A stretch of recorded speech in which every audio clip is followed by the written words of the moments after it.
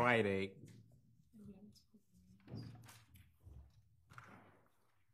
Sergeant Ventresca was on the stand. Are we prepared to proceed? Yes, Your Honor. Sergeant Ventresca is here. I have maybe three or four more questions for him, and then we can uh, move on. Thank you. Um, there is a preliminary matter I'd like to take up and um, have a motion. And I have an extra copy for Your Honor. I'll hand it to the. Could I approach? Yes.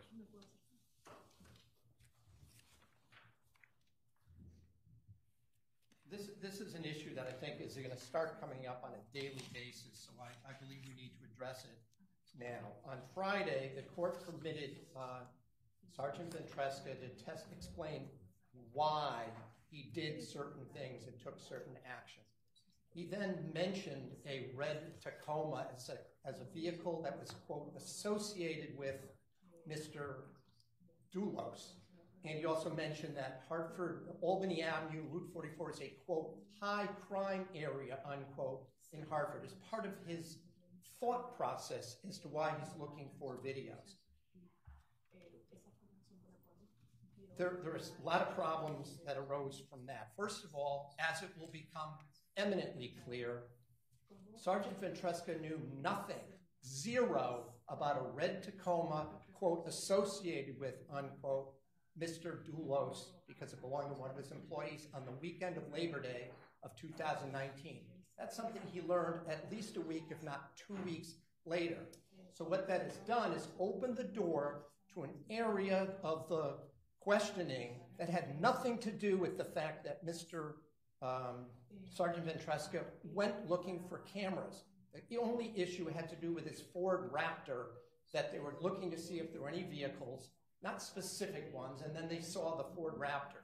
So getting into the Tacoma basically jumped, leaped over uh, issues of confrontation, hearsay, and foundation, which were utterly lacking. And the witness did not mention all the other vehicles that belonged to other Fore Group employees that were working at that time for the Fore Group.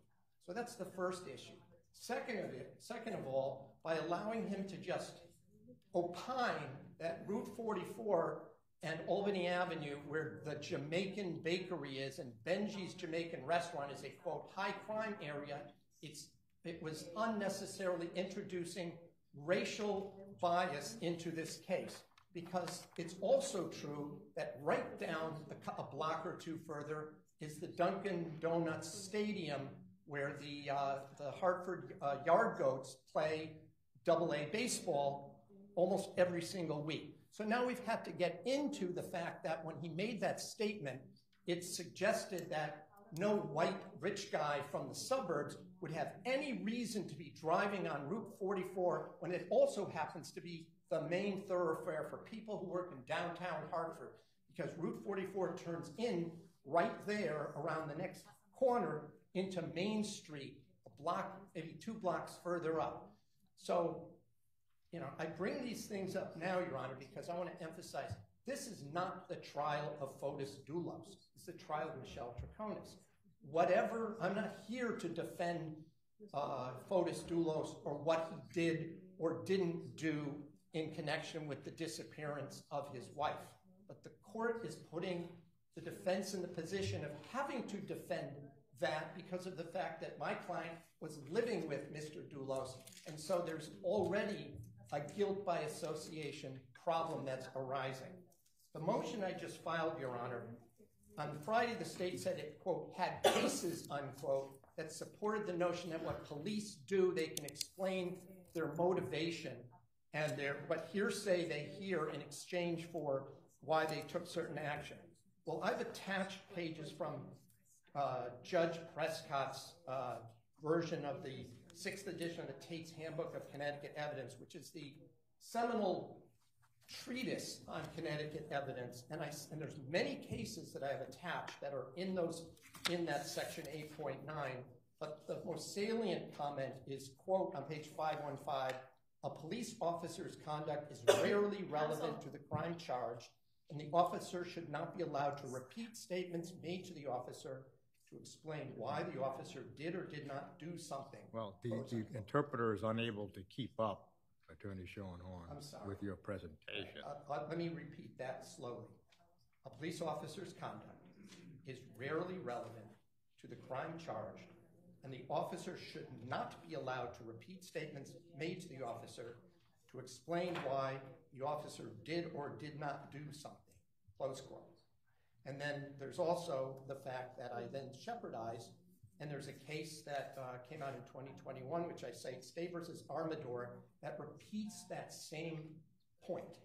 And uh, like I said, I've included a couple of pages here. Why is that important? Because if the state says it has cases to the contrary, well, you know, maybe someone needs to uh, let Judge Prescott know that means that his subchapter is just plain wrong and it needs to be uh, revised based on whatever cases the state has not given to the court. And we're going to now have this happen with every witness because we know the evidence, at least we've gone through all the evidence. And to now have to cross examine about a red Tacoma that this detective knew nothing about until a week or two later, and it had nothing to do with what was or wasn't uh, located on Albany Avenue. So, for example, if he had simply said, based on the phone pings that he received, they went to look for cameras, they gave that information, he wasn't around, he gave it to the uh, other detectives to locate, and as a result, they obtained some footage. Then we could have moved right into the fact that there was um, footage of a, of a Ford Raptor that was similar to one that Mr. Dulos owned. I would have had no objection to that. But now to get into a vehicle that this witness clearly knew nothing about at the time, and I'll just to preview what's to come a week later when the police are at Fort Jefferson Crossing and they have a search warrant, Mr. Um,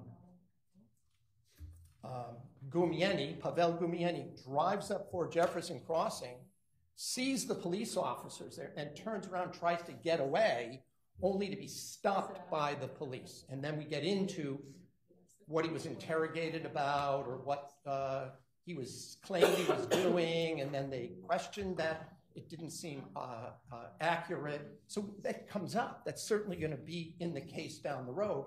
But I don't get to confront and cross examine this witness because he's not going to know where they got that information from. And I'm going to submit that at this point they didn't have it at all. But my bigger concern, Your Honor, is that's why I keep filing these motions in limine. The court needs to at least make the state make an offer of proof about these issues. And if it doesn't, the prejudice is that the jury gets to hear this.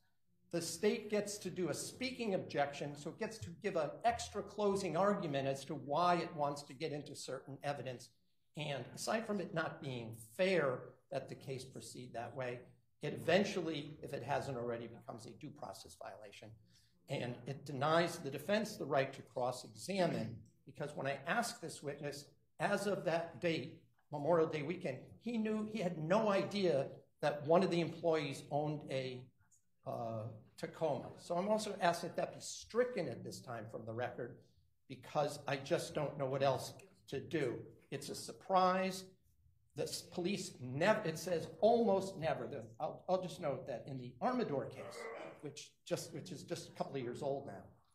The issue was a witness to the case, not the police, went to the hospital at a certain time to see an acquaintance who was uh, involved in, who had been one of the victims in that case, to um, uh, to and, and, went there. And the, the, notion of relevance has to do with not relevance to what the police do; it's relevance to the charges. It's relevance to the charges. And the fact that the police ha- were looking for a car or to see whether there was a car, wondered why this, what this, um, this um, suburban white guy who builds high-end homes is doing in Hartford. And there's also going to be evidence that my client was in the vehicle. She told the police, yes, she was in that vehicle suggesting that the only reason to go to Hartford on Albany Avenue is for some nefarious reason. because it's a quote high crime area, which oh I know hasn't been true in 10 or 15 years. There's neighborhoods there that may be, but even the notion that Hartford and the main thoroughfare, one of two into town, is a quote high crime area suggests that there's a racial aspect to that testimony, and now I have to cross examine into that. And I just didn't think that was appropriate, nor did I want to go that way. So the state, by doing this, is opening up the can of worms. And I bring it to your honor's attention because I don't know, because I have to make a record, you know, and, and each thing, you know, I'm, the court maybe is tired of my um, objections, but I have to make the record. Sometimes we did sidebar on, on Friday, we did a sidebar. I understand that that was not being recorded by the court monitor, but I don't know that for sure. I think I learned that after the after um, court adjourned that that wasn't recorded. But what was discussed at sidebar was this idea that the police get to explain why they do certain things. I said, but they don't. The court said, well, you know, we'll see where it goes, et cetera. These things do need to be decided in advance because otherwise, once the cat is out of the bag, it's prejudicial. And I, I just let the court know that, you know, I'm conscious of uh, of the uh, concerns I have. I'm trying to defend a client here who um, we maintain is innocent of these charges. There's maybe a lot of evidence, at least um, a lot of um, circumstantial evidence against Fotis Dulos. Maybe in his trial, some of this, the rulings might be more appropriate, but they're not in my client's case. And therefore, I ask the court to reconsider that, to move to strike that, to strike the testimony about the motives, and to not allow it unless the state outside the the jury makes an offer of proof as to why it's relevant, again, to the charges against my client, not relevant to what the police were doing. Thank you. Well, before we hear from the state, Attorney Schoenhorn, the court never tires of objections. Counsel may tire of making objections. The court is never tired of objections. Attorney McGuinness. Yes, Your Honor. Good morning, and may it please the court. I find it a little bit ironic that the defendant would argue that there's somehow unfair surprise to her case in this particular instance. Um, Attorney Manning apparently was up here with Attorney Schoenhorn for the better part of five to ten minutes prior to court opening, and this motion was served on us after the court came out um, and we opened court for the day. Um, so, you know, obviously, Attorney Schoenhorn has our email addresses. He could have handed us the motion in advance so that we could have had an opportunity to look at some of the citations. I guess for some strategic surprise reason, he chose not to do that. But let me just be heard on some of the substance, Your Honor, because um, these arguments are becoming more and more unhinged from the defense as this case is progressing. The only person in this courtroom that is injecting race into this proceeding is the defense. Is the defense. The state of Connecticut did not ask the jury to draw any sort of racial inference from the fact that it's a high crime area. Um, I don't know what they're frankly talking about when they say that that somehow injects race into this. I think that that's sort of a ridiculous argument. If Albany Avenue is objectively a high crime area, race has nothing to do with it. Um, and I'll just indicate, Your Honor, for the record, that um, the even the, the title to their motion Um, is misleading because it indicates that they want to preclude testimonial and prejudicial hearsay statements by police officers. Of course, the problem with the title, Judge, is that in order for something to be hearsay in the first instance and thus be testimonial, is that it must be offered for the truth of the matter asserted. And so evidence of information that was relayed to police officers and why they took subsequent action is obviously probative of the issue of the investigative steps that were taken. And, you know, we had a chance to look at Ardmore, or excuse me, Armador, during the course of the defendant's argument. And what the case indicates is that it is a fact specific inquiry um, and that non hearsay can be used for the effect on the listener. There is no sort of blanket rule that the defense is uh, asking for. And so if the defense has an issue with a particular line of inquiry taken by the state, they should object. The court doesn't tire from objections, and we should just hear those out as they, they come along. But this motion, which again was filed just now in court for some strategic advantage on the part of the defense, to not give the state adequate opportunity to um, look at this and perhaps look at the entire uh, treatise that they cited instead of just the pages that they attached to their motion, um, is, is sort of asking uh, in advance to exclude any and all evidence of uh, non hearsay evidence. And I don't think that that's appropriate, Judge. Um, and I just ask that the court deny this motion with the understanding, of course, that the defense can object if they feel that, that uh, you know, somehow the evidence is not probative. But I don't see how something could possibly be hearsay if it's not being offered for a hearsay purpose. Let me, let me just respond briefly, Your Honor. You know, it was not my intention to work over the weekend to have to come up with a motion, which when I was down here, I, I wrote last night and I brought with me this morning. Whether or not the state was uh, in the room for five minutes or more before, as Your Honor notes, when the courts came out on the bench, I was still setting up. So pulling things out, et cetera, is what I have to do to get ready. But it's not just the Ardmore case, Judge. It's all the cases cited in what I attached right from the Tait's handbook. It's O'Shea versus Min- Mignone, M I G N O N E. It's State versus Robinson. It's State versus um, Gonzalez with an S. It's State versus Evans. It's State versus Sweeney, and um, State versus Vega, at the, which is in the Con App case, 48 Con App case. So this isn't one case. This is a long line of cases. And in the Ardmore case, Armador case, the court sets forth that police should never be able to, almost never. And then they allowed in a non police officer to explain why that individual went to the hospital to see the victim because it showed advanced knowledge, which was relevant to the charges against Mr. Armador. So I, I don't understand even the state's argument.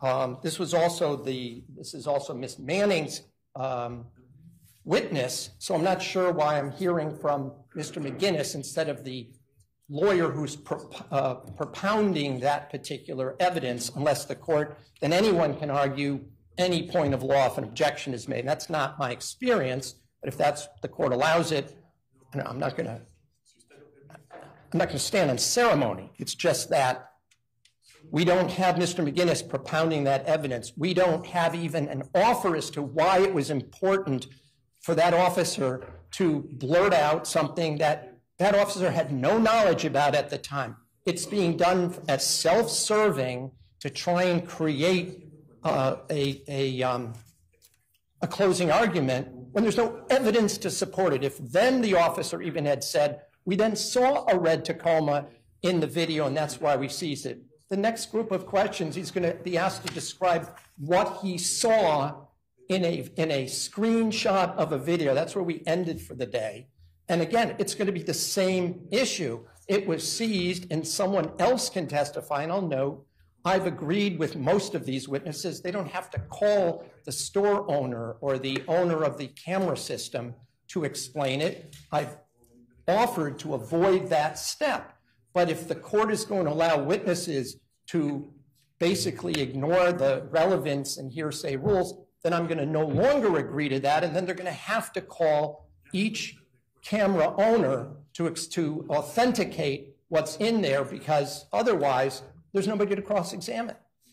So I stand by my arguments. It seems to me that it's black letter law, at least in Connecticut, that it shouldn't be allowed. And they're going to do this with every witness. They're going to do it with every witness, every police witness. Just, just briefly, Judge, a couple things. Uh, to begin with, um, as I recall, Attorney Schoenhorn argued a motion in limine uh, the other day with respect to a witness that Attorney Felsen was going to be handling. So I'm not really sure what he is indicating when he says that it has to be uh, one witness. If we're dealing specifically with motions, Your Honor, the court has allowed counsel the leeway to argue uh, those motions, and the defense actually took advantage of that very uh, fact the other day. So I'm not really sure where they're going with that. But I'll also just note that the motion itself is written not just specific to Sergeant Ventresca. As a matter of fact, I don't see his name even mentioned in the motion.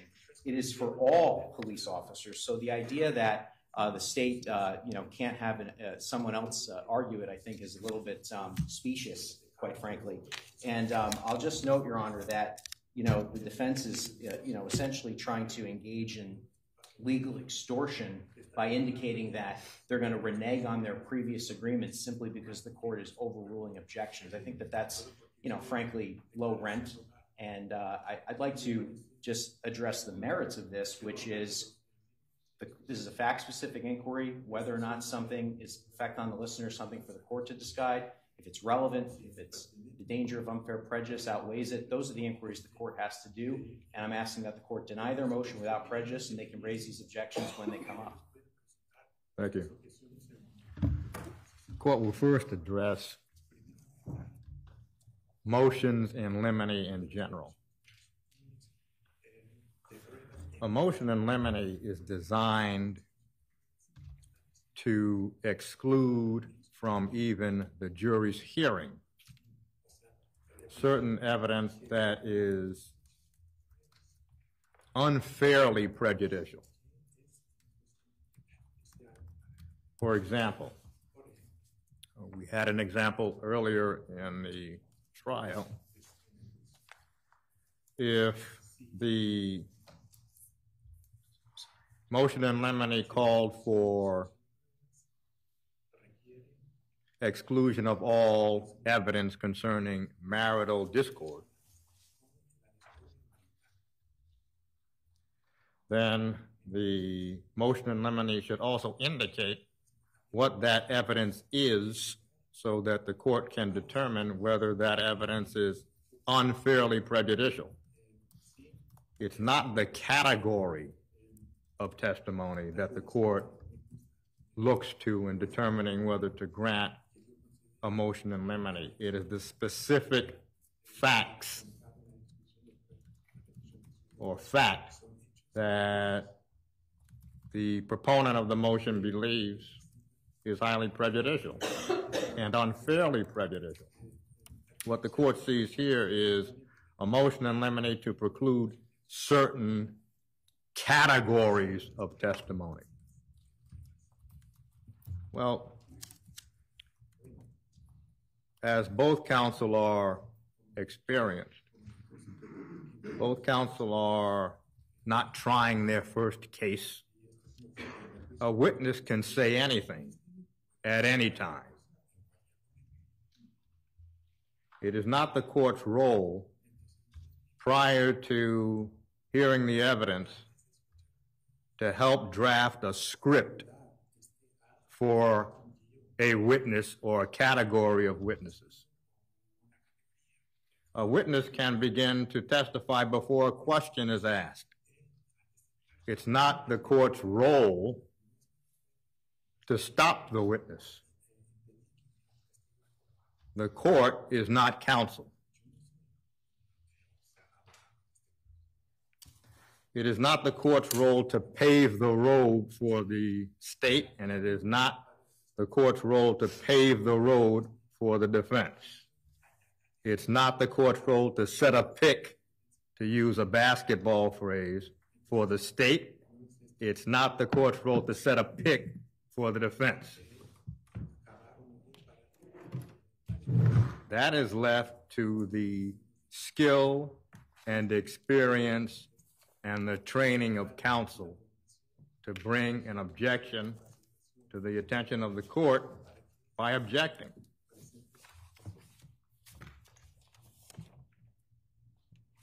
The motion is denied. You can bring the jury in, please.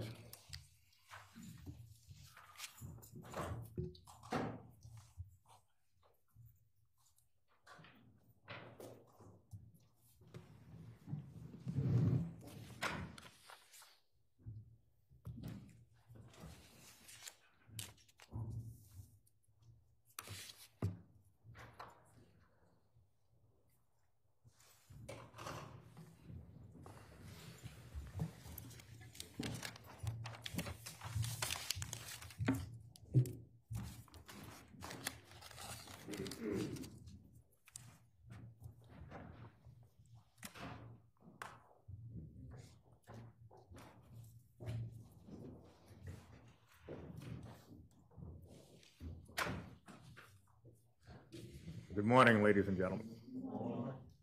Would counsel stipulate? Yes, Your Honor. Thank you. Your Honor, I believe we left off with Sergeant Ventresca. Thank you. Right outside, if I may.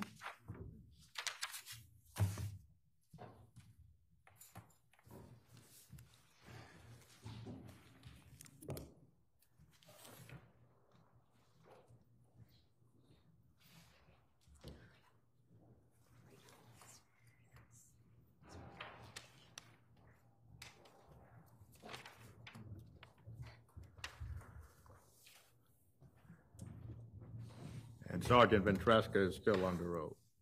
You may be seated, Sergeant. Sir Honor. May I inquire, Your Honor? Yes. Uh, Good morning, sir. How are you? Morning, how are you? Uh, Just a couple questions. When we left off on Friday, um, How- I can't hear you with the, this gentleman talking right in my ear. I'm sorry. Sorry.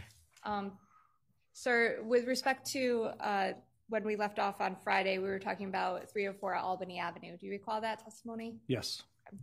Uh, Based on what you learned from uh, 304 Albany Avenue, what did you do? I alerted the uh, s- uh, Troop L Major Crime Office, and I wanted to get a detective sent over to 304 Albany Avenue to pull that video.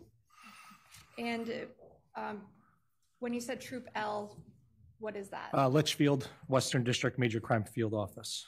Okay. Is that part of Western District Major Crimes that you are? Yes. And are you the sergeant in charge of that, uh, Troop L? Not Troop L, no. Which sergeant is in Uh. Sergeant uh, Bisson. And uh, after, at some point, did you receive information from that, um, from a officer with respect to 304 Albany Avenue? Yes. Uh, Who was that Uh, officer? Detective Fitzsimons? Based, without telling me what he said or gave, uh, based on what, on that information, did you take any steps? Yes, so uh, it was the Thursday, the 30th, uh, when that detective learned of that, what was on that video. There was a vehicle in question. I alerted Central District Major Crime, which is the Troop H Field Office, to get a detective over to Hartford C4, the Hartford Capital City Command Center. And what day was that? It was uh, Thursday, the 30th. Did you ever send anybody from Western District Major Crimes to C4? Yeah, uh, I sent Detective uh, Butin on Friday, the 31st, to go to C4 as well. Uh, Detective Butin, is he assigned to your unit? Yes, uh, Western District Major Crime. He was assigned to the Troop G Field Office. Uh, I have nothing further, thank you. Okay. Cross-examination.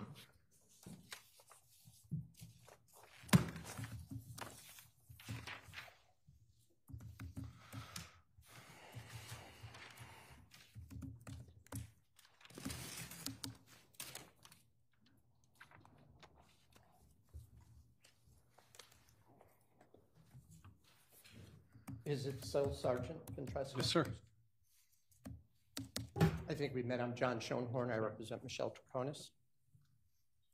When you talk about Albany Avenue in Hartford, you also refer to it as Route 44, correct?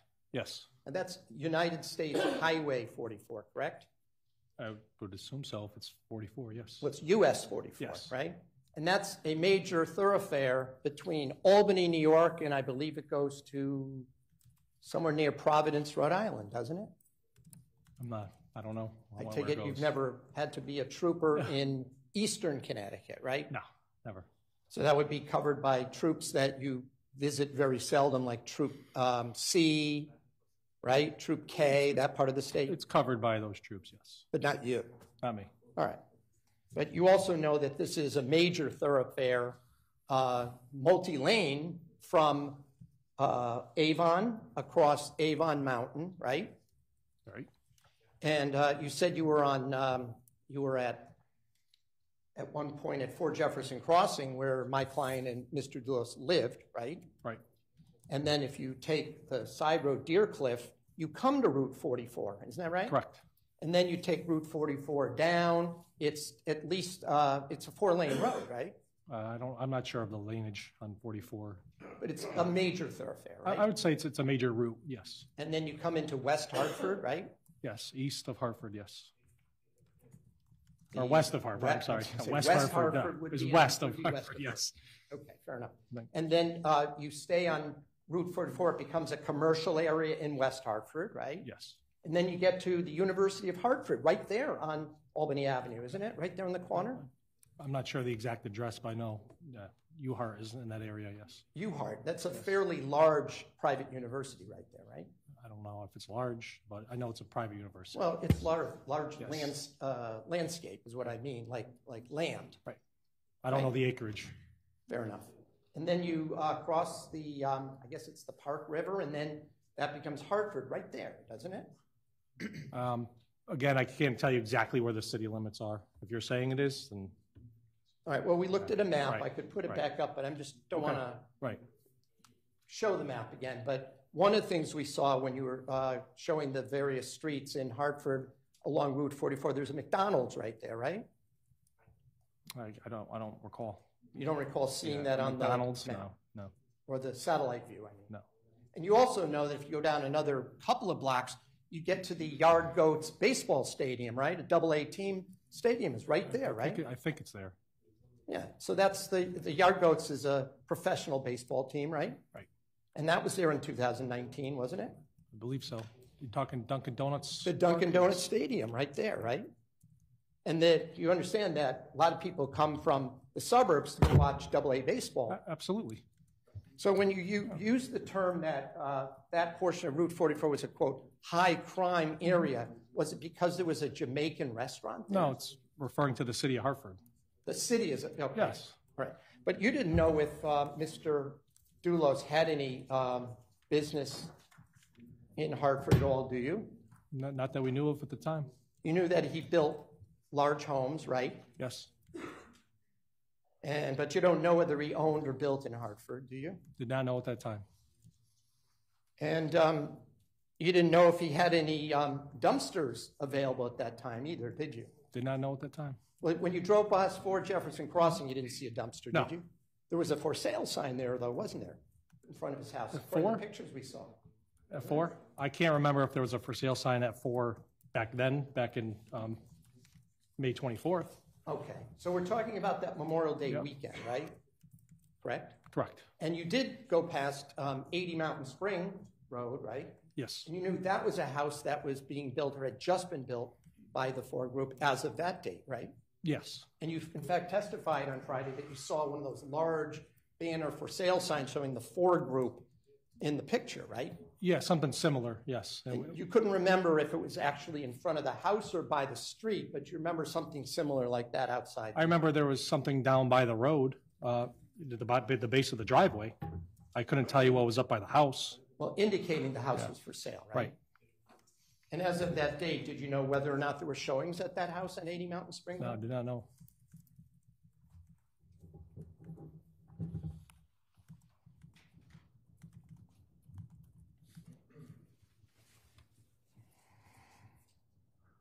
You were also testifying on Friday that uh, there were different kinds of cars that you believed were, quote, I think you used the word, affiliated with, unquote, Mr. Dulos. Is that right? Um, I would- say that's right, yes. Yeah. You Or- mentioned a red Tacoma as one of those cars. Remember saying that? Yes, sir. Now, as of Memorial Day weekend, you didn't know anything about a red Tacoma be, belonging to one of Mr. Uh, Dulos's employees, did you? Yes, That weekend you found out yes, about that it? Sunday. Or I'm sorry, that Monday. Not, not the weekend, but the Monday.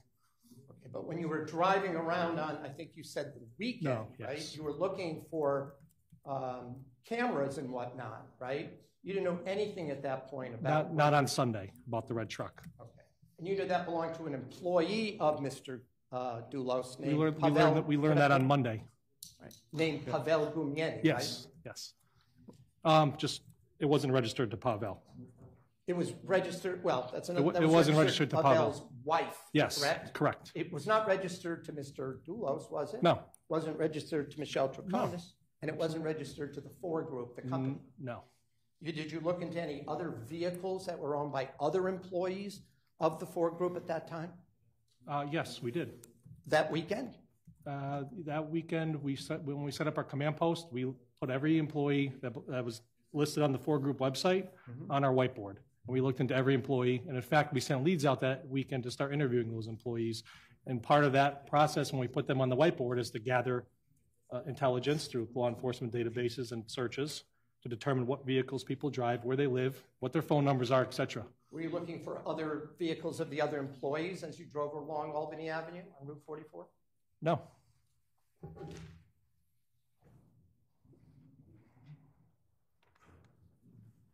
And you did know that that red Tacoma was about 20 years old, correct? It was Yes. a 2001 Tacoma, right? Yes.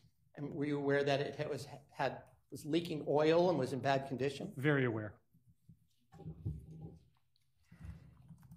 Incidentally, you didn't look for any leaking oil along the route you were traveling, did you?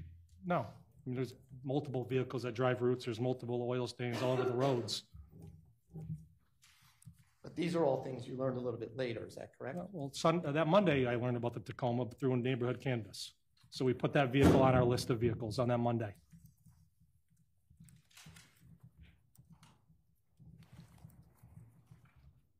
By the way, you didn't know whether um, Mr. Dulos had ever been known to um, dump construction garbage at uh, locations where he, sh- where he should not have been doing that, did you? Not that day, no. On any No, day? no, never. Now, in your career as a state trooper, have you ever had to uh, investigate an illegal dumping case, No. even as a road trooper? No, Isn't that something the state police sometimes sometimes, I mean, mostly like debris on the highway, you know, people throw couches out along the highways and such like that. Oh, you ever seen contractors doing that, so they don't have to pay for a dumpster? No. Never. No,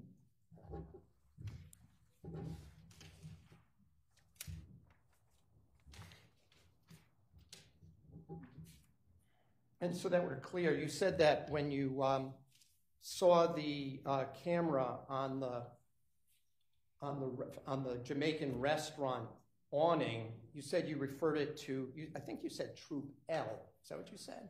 You mean. Troop H No? Troop L, Western District Major Crime Field Office. Well, wasn't Troop H just right down the street from where the Albany Avenue is? Like maybe Uh, six Washington, I think it's on Washington and, and Hartford. Yeah, isn't Washington, it's right near the Capitol, right? Yes, And you didn't contact them?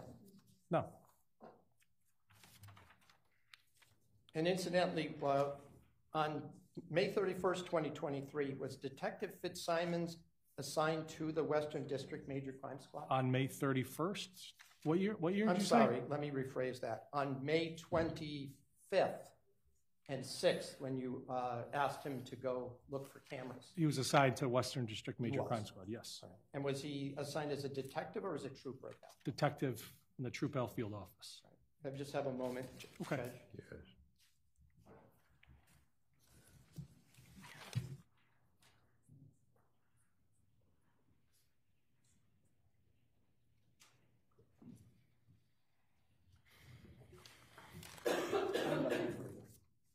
Nothing further, thank you.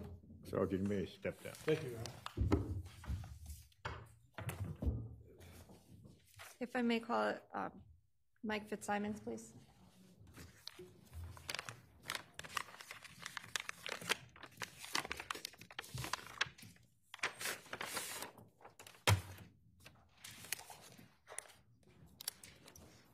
If I may have a moment, Your Honor? Yes.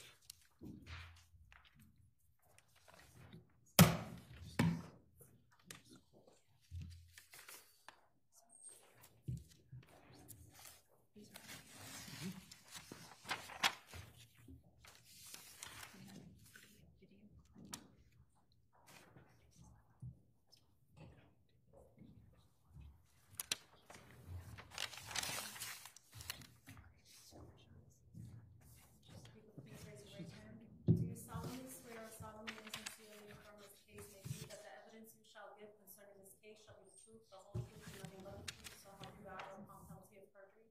Yes, I do. Please state your name and spell it for the record. Michael, M-I-C-H-A-E-L, Fitzsimons, F-I-T-Z, S-I-M-O-N-S. You may be seated.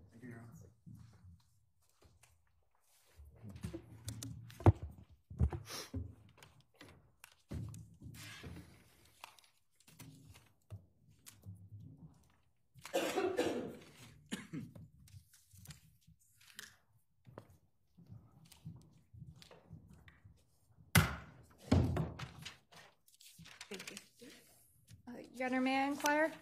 Yes. Thank you. Good morning, sir. How are you? Fine, thank you.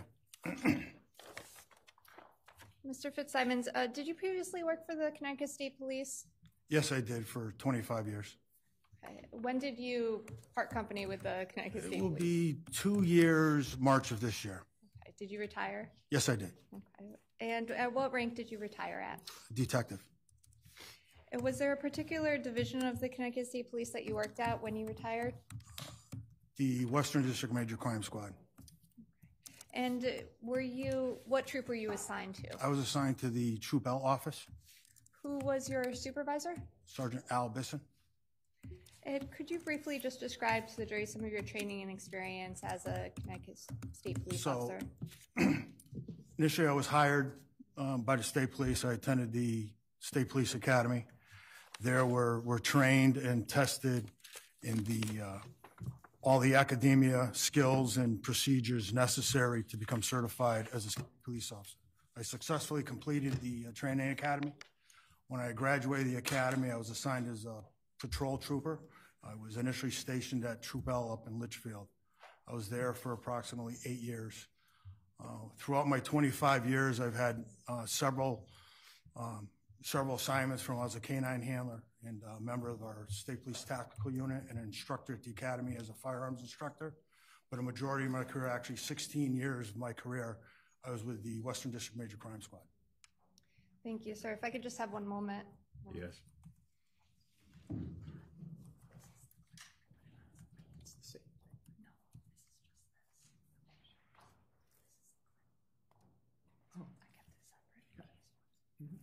May I just approach you on that? Yes.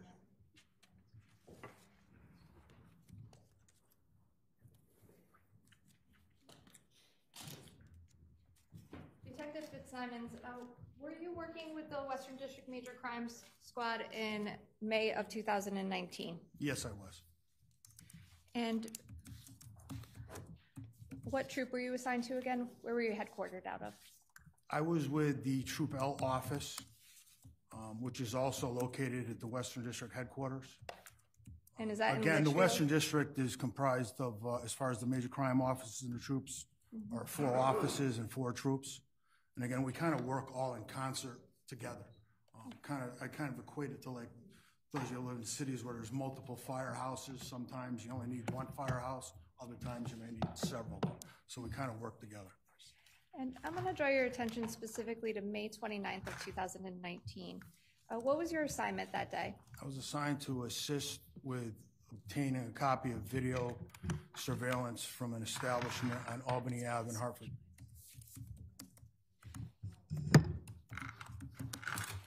And what was that address, sir? The average was uh, 304 Albany Ave, um, and the point I was supposed to meet, the name of the establishment was Benji's Two Seafood Restaurant.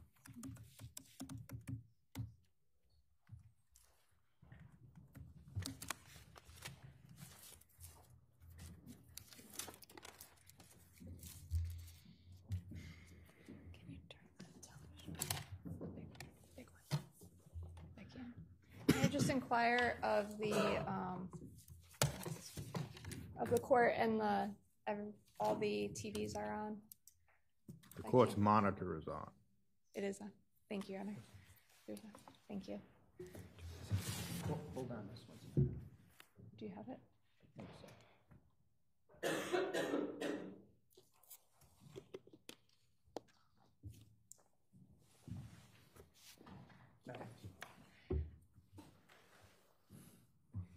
Your Honor, with respect to States 34, there are um, two items on it that have already been admitted through other witnesses. However, the last two have not.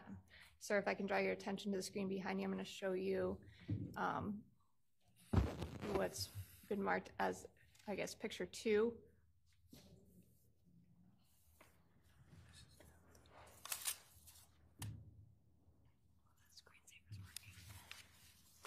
Do you recognize what's depicted in that photograph, sir? Yes, I do. And what is that? That is Benji's Two Seafood Restaurant. And is that the restaurant you went to on May 29, 2019? Yes, it is. Okay. And Why did you go there? Uh, I was assigned by my supervisor to download, they had video surveillance there. Uh, Information was received or passed on to me that they, they believed there was information, believing Fotis Dulos was in the area of Albany Avenue on May 24th, sometime between 7 and 8 PM.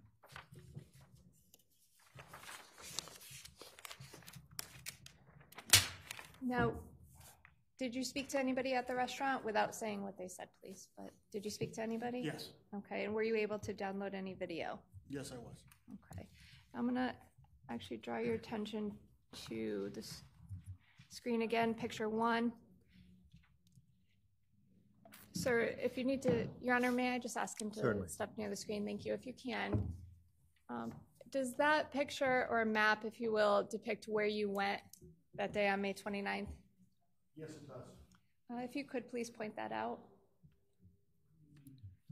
In this area, right here, uh, Albany Avenue area, near the intersection, that's Green Street, If I can, I can. Um, the knife and fork are. Where the knife and fork are. It says Island Fish Head Jamaican Restaurant, sir. Is that the restaurant you went to? It, it was, it was called, as far as I know, Benji's Two Seafood Restaurant. I don't know when this was taken. Okay. And that would be the Benji's in picture two?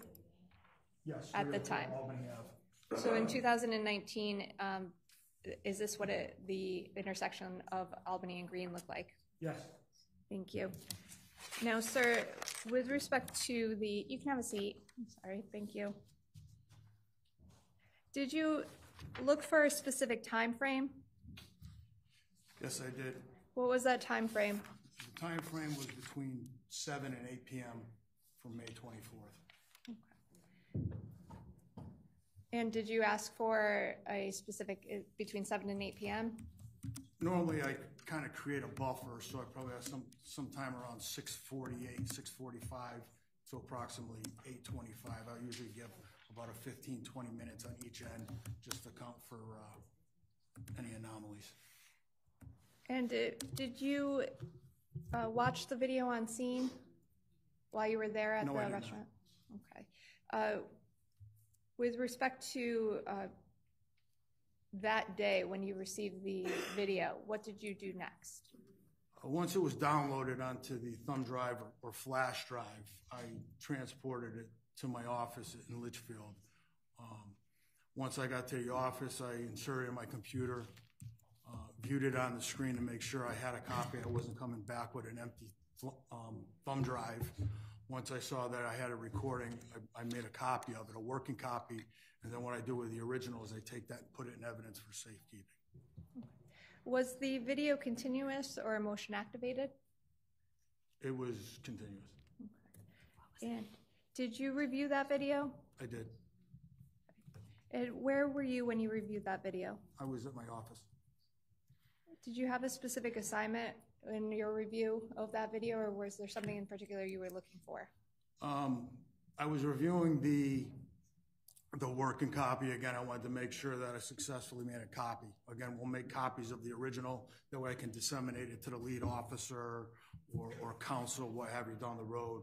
Uh, that, that minimizes damaging or losing the original. Again, the original was evidence. So as I was going through the working copy, ensuring that I had success- successfully downloaded it. Um, I was aware of the vehicle, one of the vehicles, or the vehicles Fotis Dulos had registered to him. And then while going through ensuring a copy, I noticed a, uh, one of Fotis, what appeared to be a vehicle consistent with Mr. Dulos's vehicle, What type of vehicle was that? Uh, a black Ford Raptor. After, was, do you recall what time that vehicle or a vehicle consistent with a, approximately 7:40 PM. and after you would, saw that on the video, um, what did you do, if anything? Through reviewing it, um, kind of monitor it, and as the, the vehicle had, had made a, a U-turn, it was coming back. Your Honor, I'm going to object to him giving a narration. The, the video will speak for itself. So the fact that he reviewed it, he logged it in, I assume that sh- she wants to show the video. I'm not objecting to that. But I object to a sort of running sideline play-by-play of That's fine, Your Honor. I can, it be states 35. I can play that now with, Thank you. It's No sustained. objection. thank you. I can, sir. I'm going to draw your attention to the screen behind you.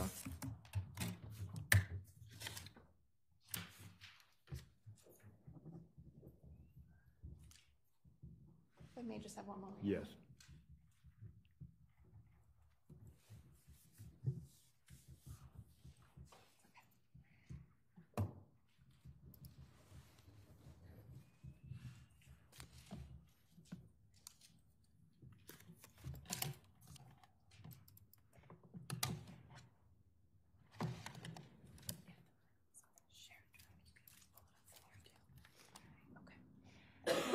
Do you um, recognize what's depicted on that screen? Yes, that is a, a- an easterly view of Albany Avenue uh, at the front of the Benji's Restaurant. Okay, when you say easterly view, um, let me just ask you, is, if somebody was driving away from the screen towards the upper right, is that towards Hartford or away from Hartford? That would be towards Hartford.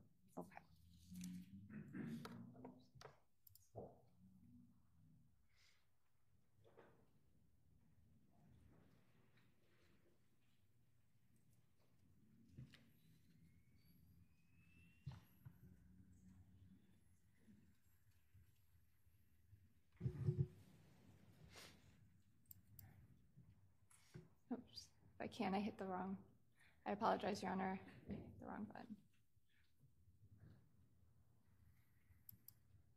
Okay, I'm going to stop it there, sir. Uh, If you wouldn't mind, Your Honor, may I ask him to go to the Yes. screen? Sir, if you can, just on the upper, if you could point on the upper left-hand corner of that uh, video screen, uh, what does that time, what's it, is that a timestamp? Is that, The upper left, the 0524 2019 is the date and year. Friday, Friday, and then 0740 and 55 seconds PM. now, after you watched this video, sir, did you take any screenshots of the video? Yes, I did. And what did you do with those screenshots? Once, once I took the screenshots, I'd saved them, printed them out, and uh, I ultimately disseminated it to the uh, Troop G office.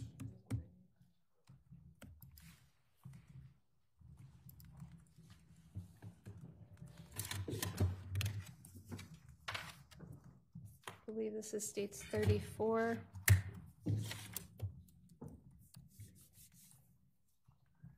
Uh, Your Honor, at this time, there are two items on states 34 that are um, for ID only, uh, unless counsel has no objection at this point. No objection. Then uh, if we can move uh, the entire of stage 34 as a full exhibit, those two items that the state is planning on introducing at this time also appear on uh, Sergeant Ventresca's as ID. But if they are moved as full now, Stage 34 will be admitted as a full exhibit. Thank you. Sir, I'm going to show you uh, what's been in Martha's picture three out of states 34. Do you recognize that? Yes, I do. And what is it? That is a screenshot, screenshot of the Ford Raptor. Is that the screenshot that you took Yes, it is. and disseminated? Yes, it is. In picture four,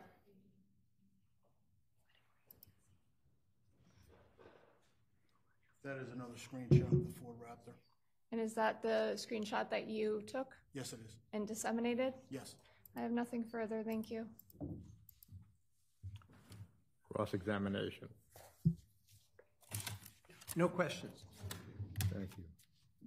Uh, Well, we will refer to you as detective. You may step down. Thank you, sir.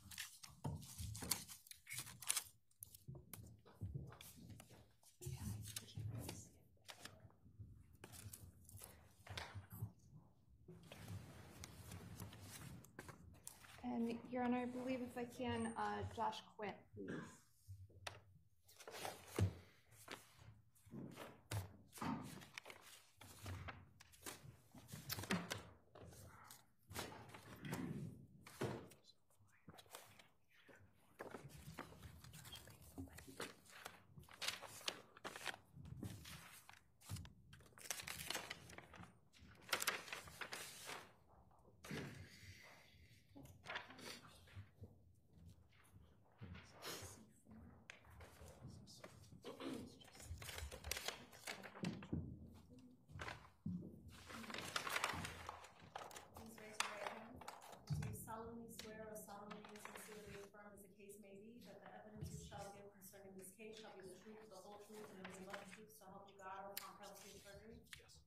Please state your name and spell it for the record. Uh, Joshua, first- last name Q-U-I-N-T. And your position. Uh, Connecticut State Police. And you may be seated, thank you.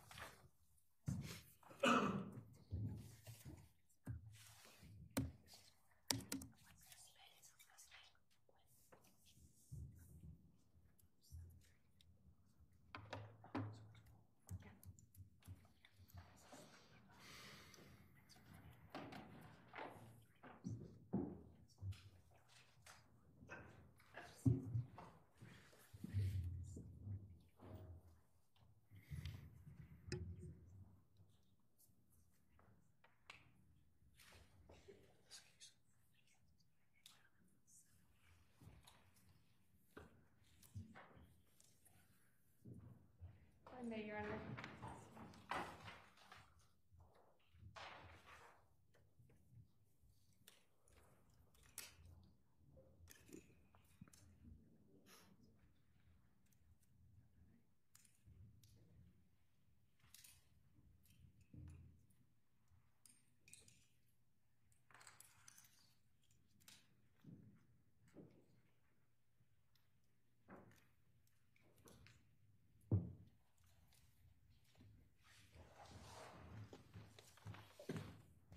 Morning, sir. How are you? Good morning, ma'am.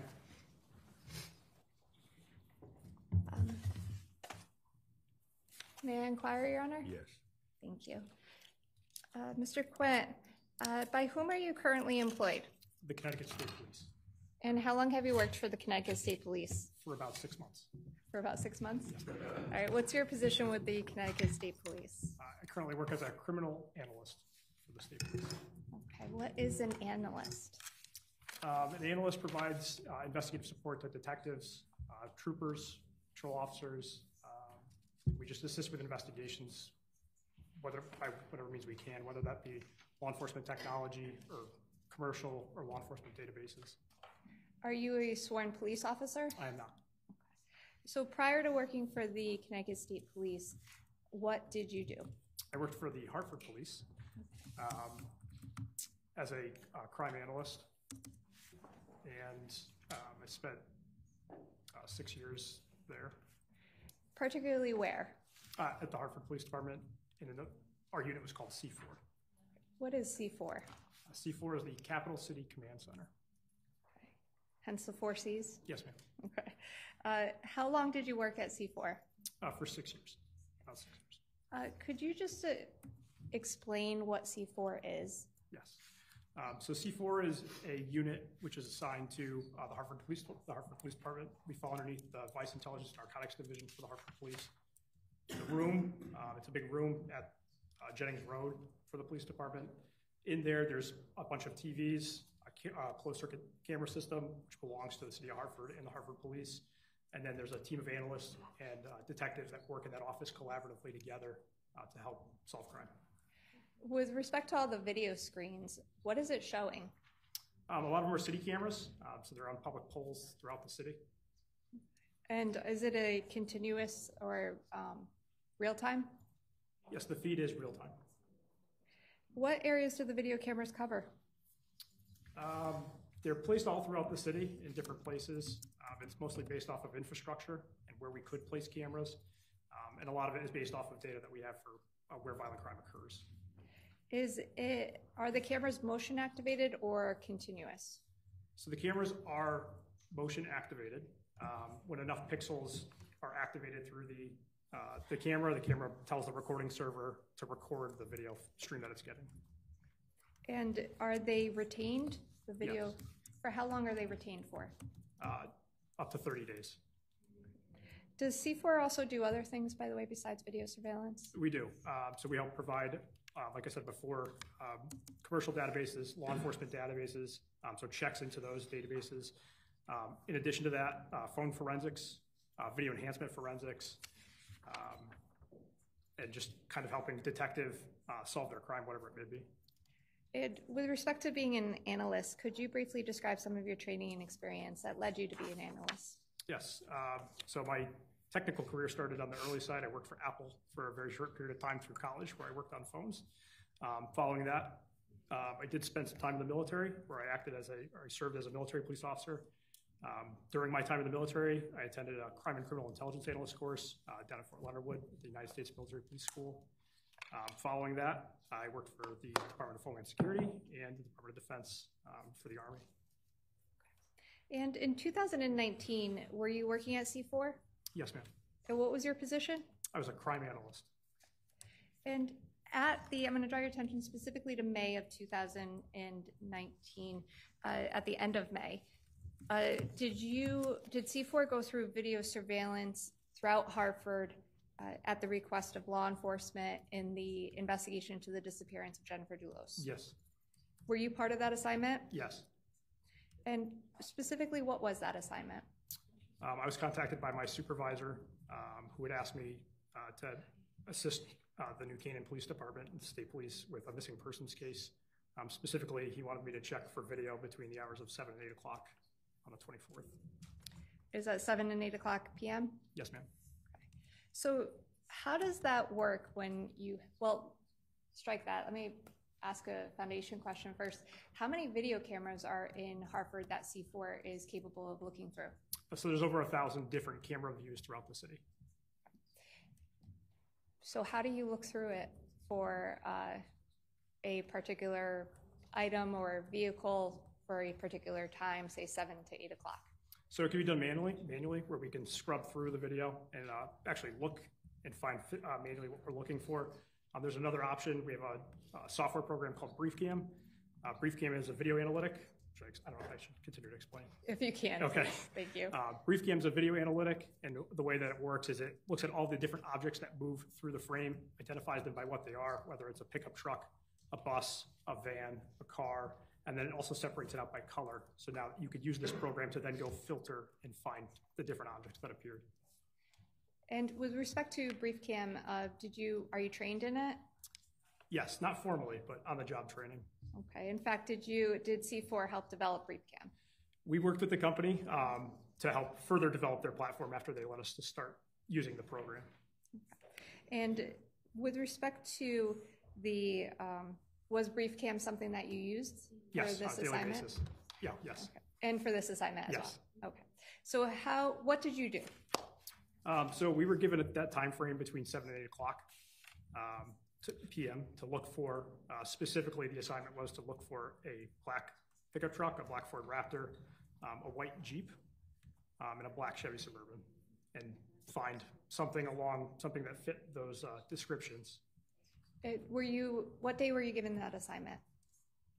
Uh, I don't remember the exact day. Okay.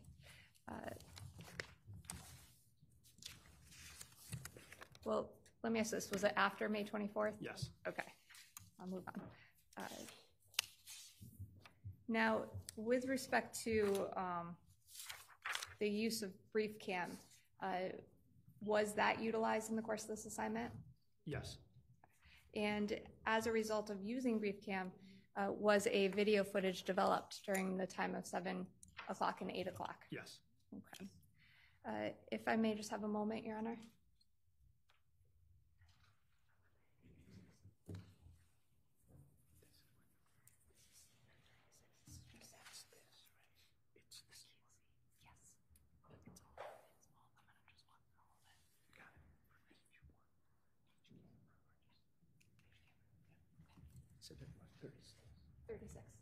Seats 36, Your Honor. I don't believe there's any objection at Um, I'm looking at it right now. To- Let me just have one more moment to make sure. running out of, which one goes to here? This one? Uh, Yeah, Yeah, I I don't have an objection to this. Thank you. States 36 admitted as full.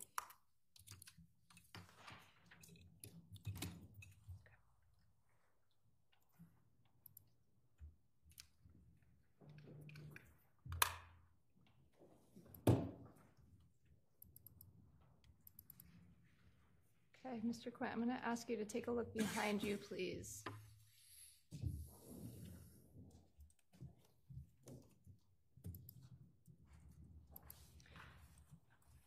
All right, States 36. Um, What are we looking at?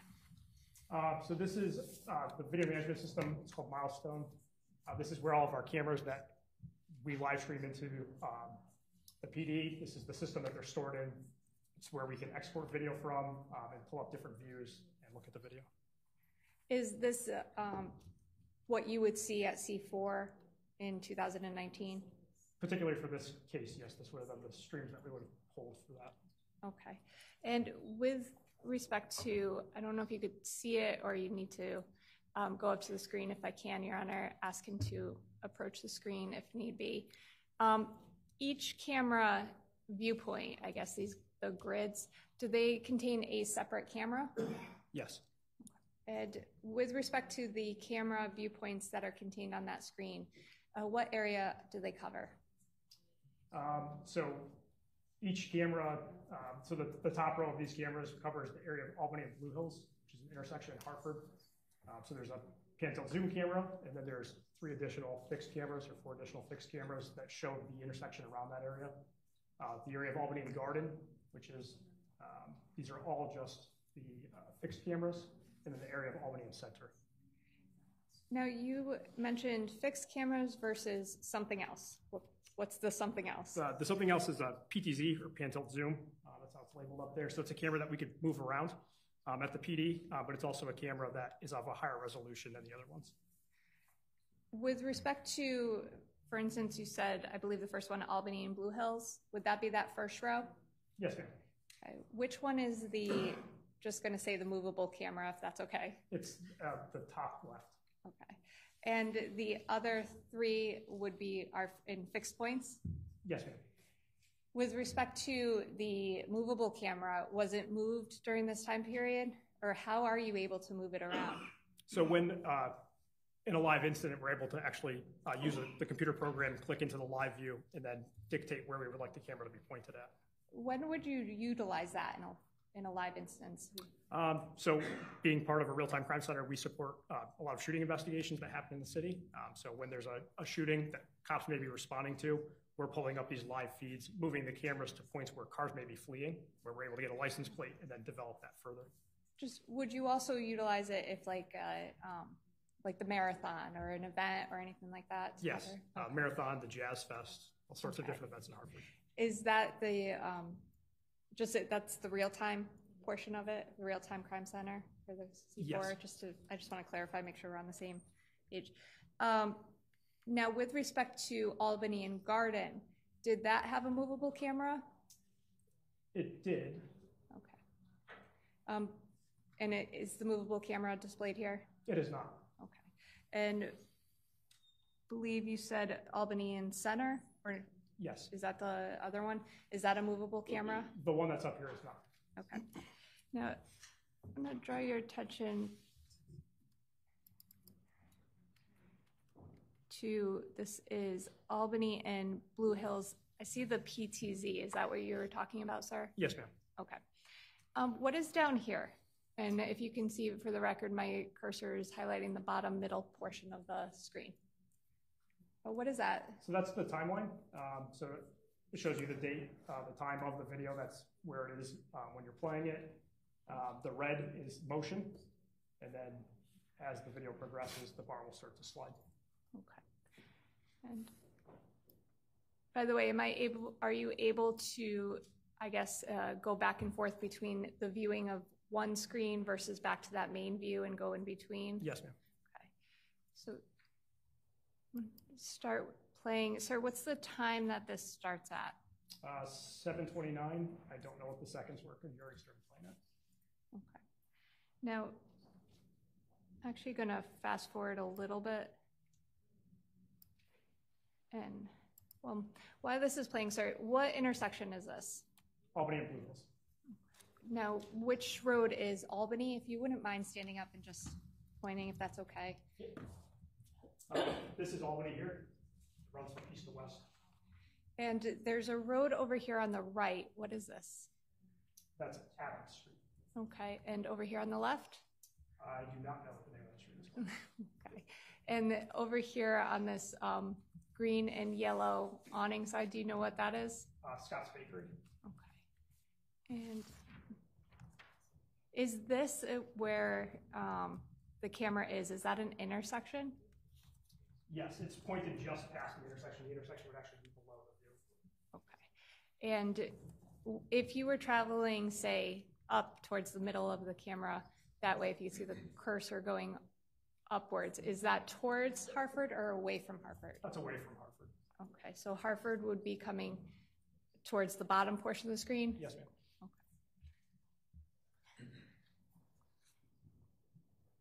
And did you utilize BriefCam on this camera? Yes. And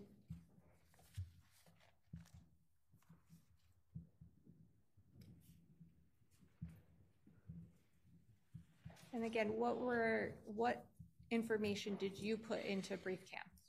So we were given a time frame um, between seven and eight o'clock, um, specifically to look for um, a black truck or a black Ford Raptor, a white Jeep. Was it, well, with respect to the black Ford truck, were you giving the information of a black Ford truck or a black Ford Raptor? We were given specifically a black Ford Raptor. Okay. And is this the video that BriefCam gave you? Yes.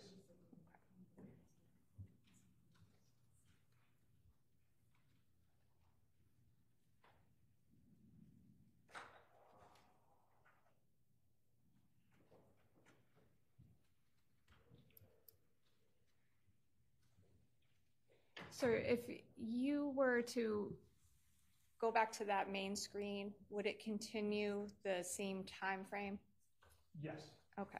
If you can, you can have a seat, sir. Or I might just, I'll probably be asking you to get up again.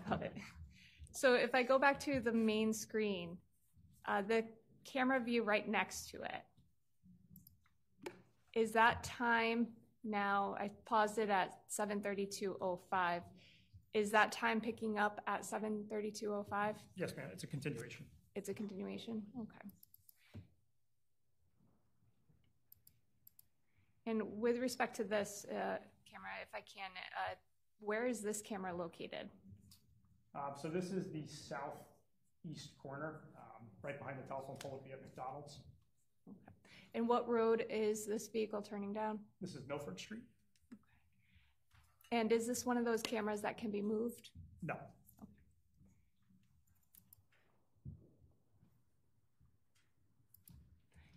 Oops, sorry.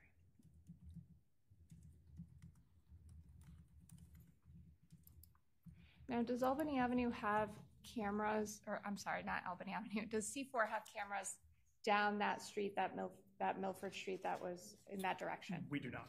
Okay, are the only cameras that uh, relate to this along Albany Avenue? For this incident, yes. Okay. And is there another camera that, in, is there another camera that picks up that truck? Yes. Okay. Now, you mentioned the McDonald's. Is that, That is, yep. okay, so we're still at the same intersection, sir. Where is the Milford Street that the truck went down? So it it would be on this side of the view. Uh, It would Okay. continue down that south. So, is there a way? In this road right up here? Um, that's a, that's a plaza entrance. Oh.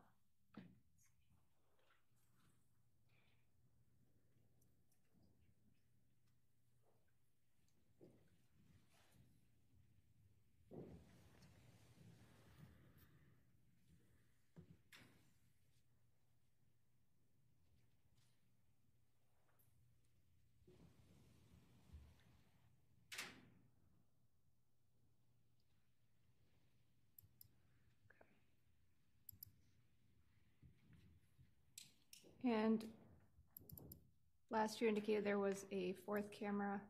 Here, I'm actually just going to scroll back. Which camera angle is this, sir? So this is another one of those fixed um, cameras, and this is northbound. This road here would be Milford Street, and this would be Woodville Attorney Manning, it is now about 11:16. We should probably take our morning recess. Okay, yes, Your Honor. Ladies and gentlemen, we will take our morning recess and resume at 11:30. Thank you. Please do not discuss the case.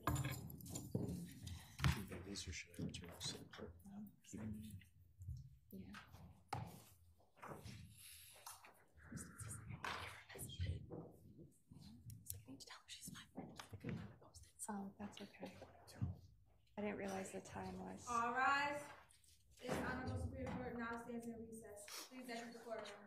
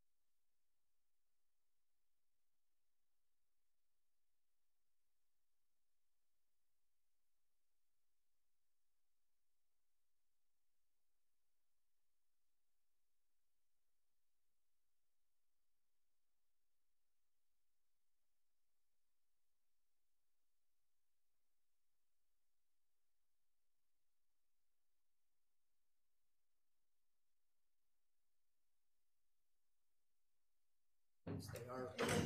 Bef- Please be seated. Um, We are waiting for Well, I'm uh, Attorney assuming- McGuinness. Got it. assuming the.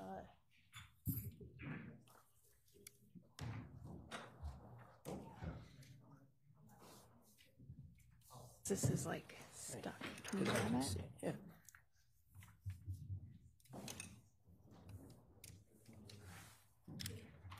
Oh, wait. Oh, I see what the You know, problem.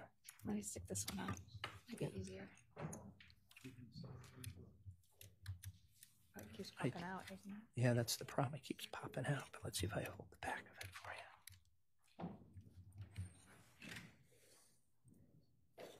This is why I use this. Did you get it? I think so. There.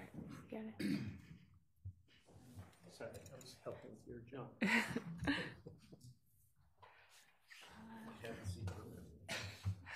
We can bring the jury back in.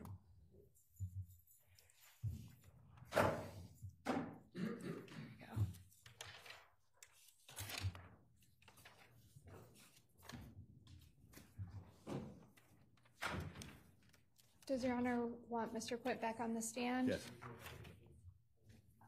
I think he's been outside. Oh, Sean, can you go get that? I know. Oh, thanks.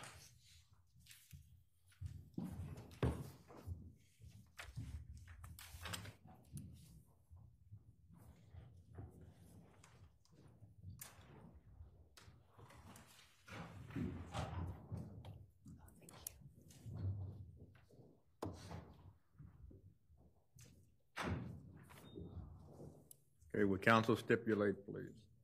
Yes, sir. Uh, Thank you. Yes, Your Honor. Mr. Quint, you may be seated.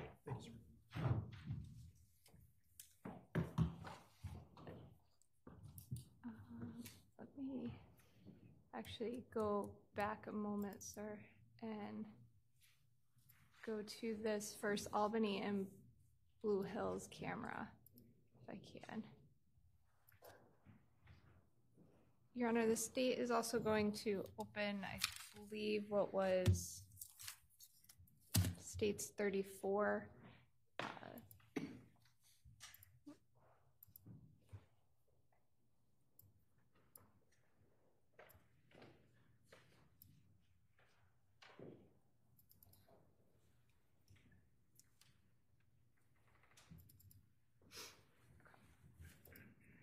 All right, sir, do you see the two items, maybe a little squished together, but do you see them on the screen behind you? Yes.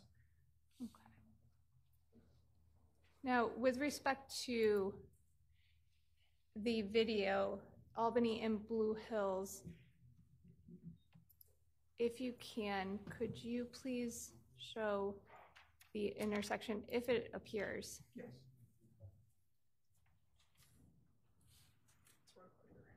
Okay. And the Blue Hill Street, sir? This is Blue Hills here. This is all Albany. Okay. And Milford? And this is Milford Street. Okay. And there's the McDonald's? Yes. Okay, thank you. You could have a seat.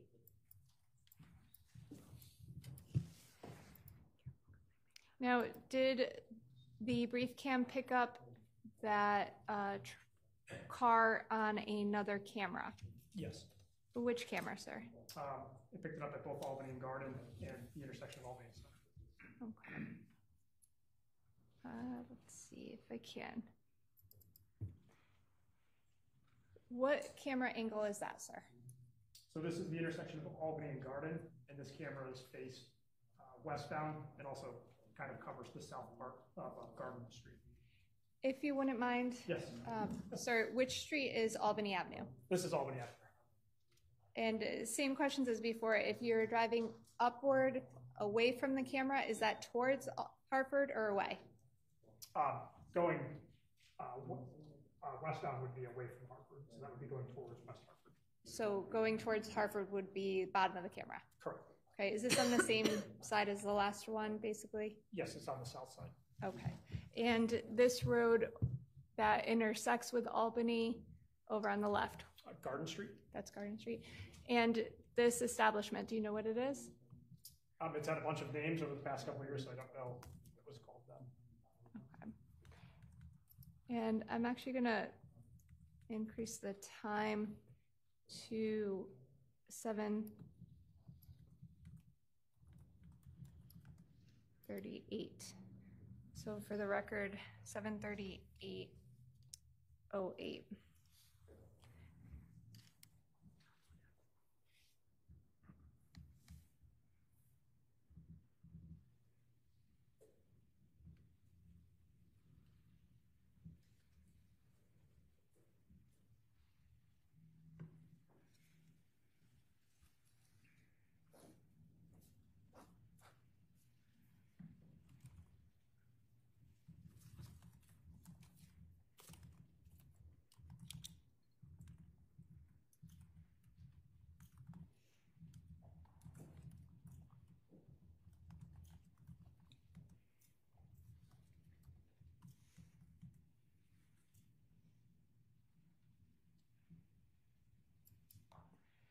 Now, sir, I'm going to ask you the same question with respect to the map. This is Albany and Garden.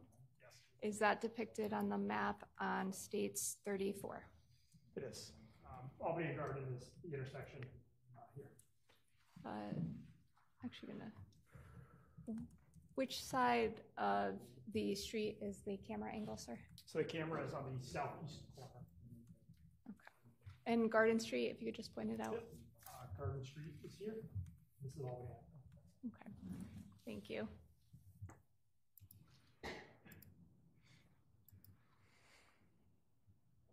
Now, is this a movable or fixed camera view? This is a fixed camera. Okay. And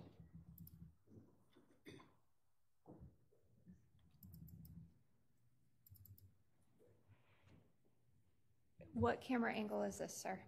So this is another fixed camera view, but this is faced east. And the road on the right? Uh, This, you're talking about this one? Yes, please. This would be Garden Street. This is Albany Avenue. Okay. And same questions, uh, the Ro- Albany Avenue, if you keep driving straight, uh, does that go to um, the uh, Hartford or away from Hartford? It's still going further into Hartford. Okay. Now, is this a view that um, BriefCam picked up? Yes.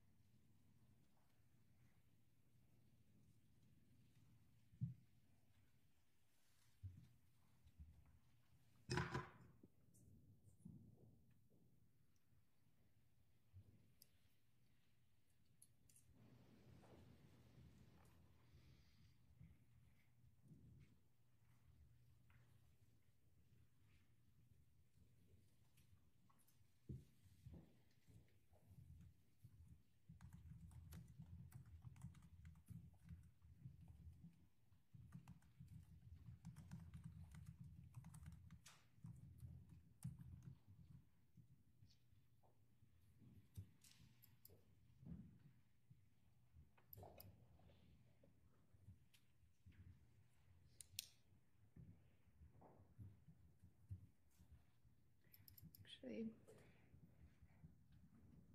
I'll go back a little. This camera view, sir,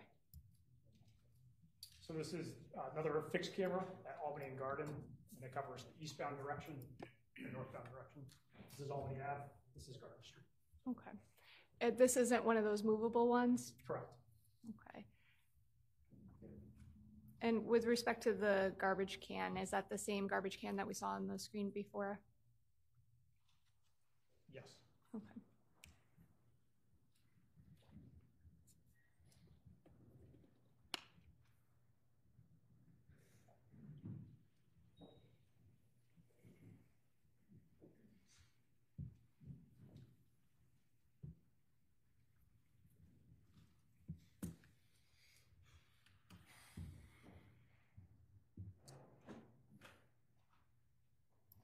Now, I have a quick question, sir. Do you see that black truck that's on that screen? Yes.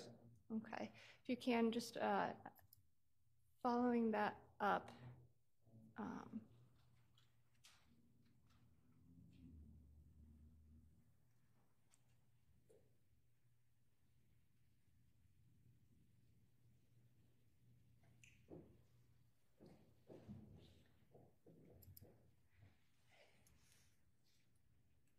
what's the difference between the two? Did BriefCam pick up that other back, black truck? It did as a black pickup. Okay, but not as a Ford Raptor?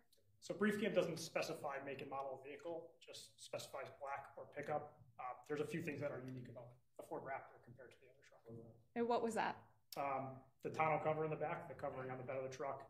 Uh, the Ford Raptor has uh, hood scoops on the front, so uh, little indentations on the, the front of the hood. Okay, and so with, when you're going through this video, uh, were you looking at all the trucks uh, that were black and pickup trucks? Yes, that's where we started. Okay, and then you were able, you started, so did- were you able to narrow it further? Yes. How were you able to do that? Once we started to see uh, the same trucks stopping and putting garbage bags and random garbage cans. Okay.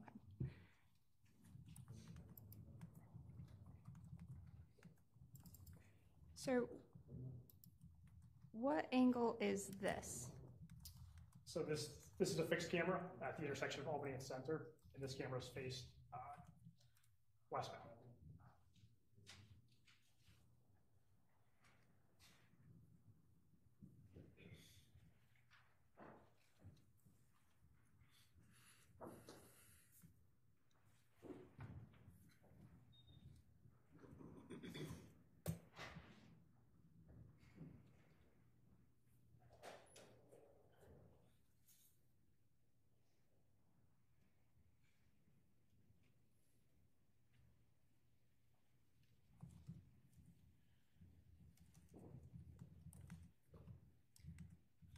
I'm gonna stop here, seven thirty-nine forty-seven. Do we see that same truck, sir? Yes.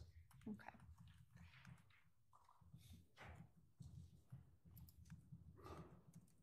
Is that the truck from, that I pointed out before?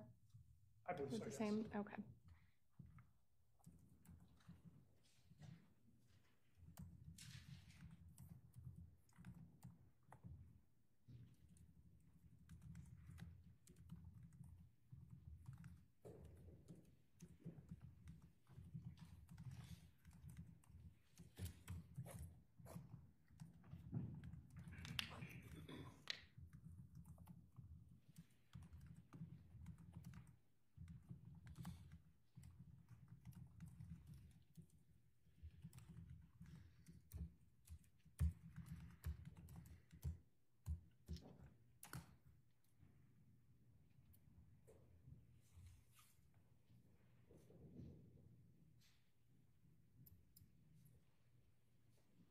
No, stop it there. So I'm gonna go back to picture one with the map.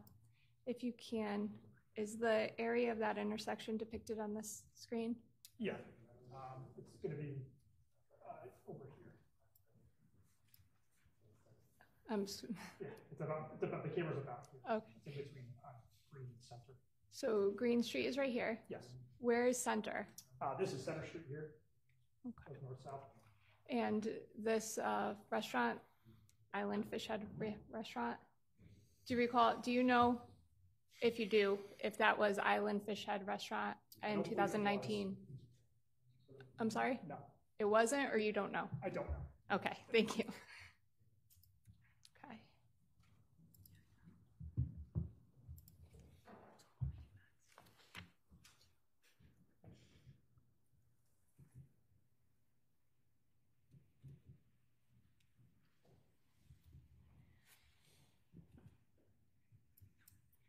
Stop at seven forty-one twelve. Sir, what street is this? Green Street? And again, if you were driving, let me zoom back in. If you were driving Albany Avenue going to the left corner, upper left corner, which direction are you traveling now? So if you're traveling this direction, it would be traveling west. Okay, is that towards Hartford or away? It would, it would be towards west. West Hartford? Yes, Okay, so if you're traveling towards the bottom right, would that be into the city of Hartford? yes.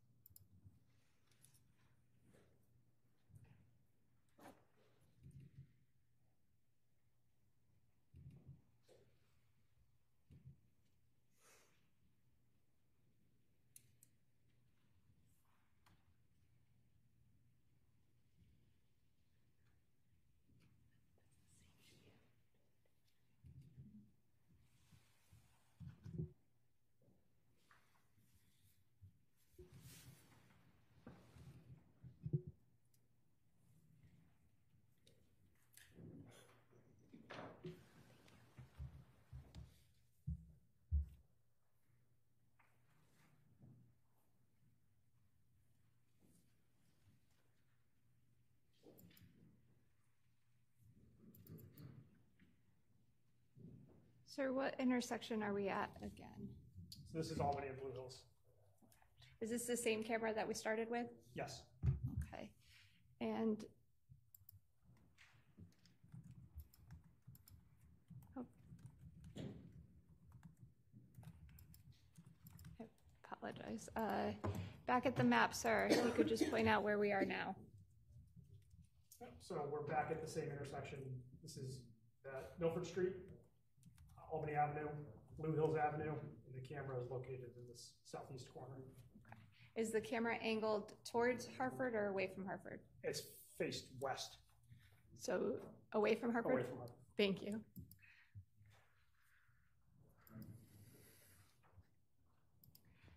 I'm going to fast forward a little bit to.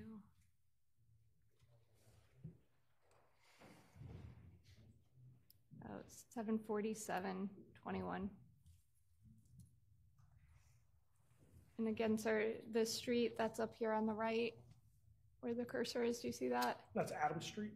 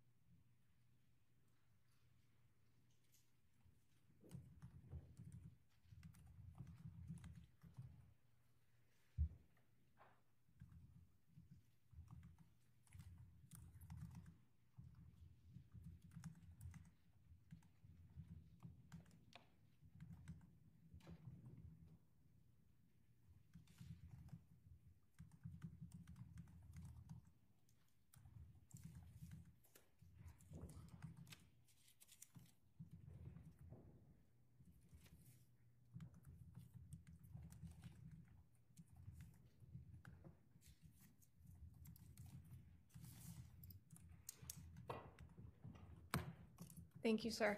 Uh, If you can have a seat. Your Honor, the state's intention at this time is to ask about uh, the witness and inquire about some further video that was obtained. I believe there's an objection to it at this time.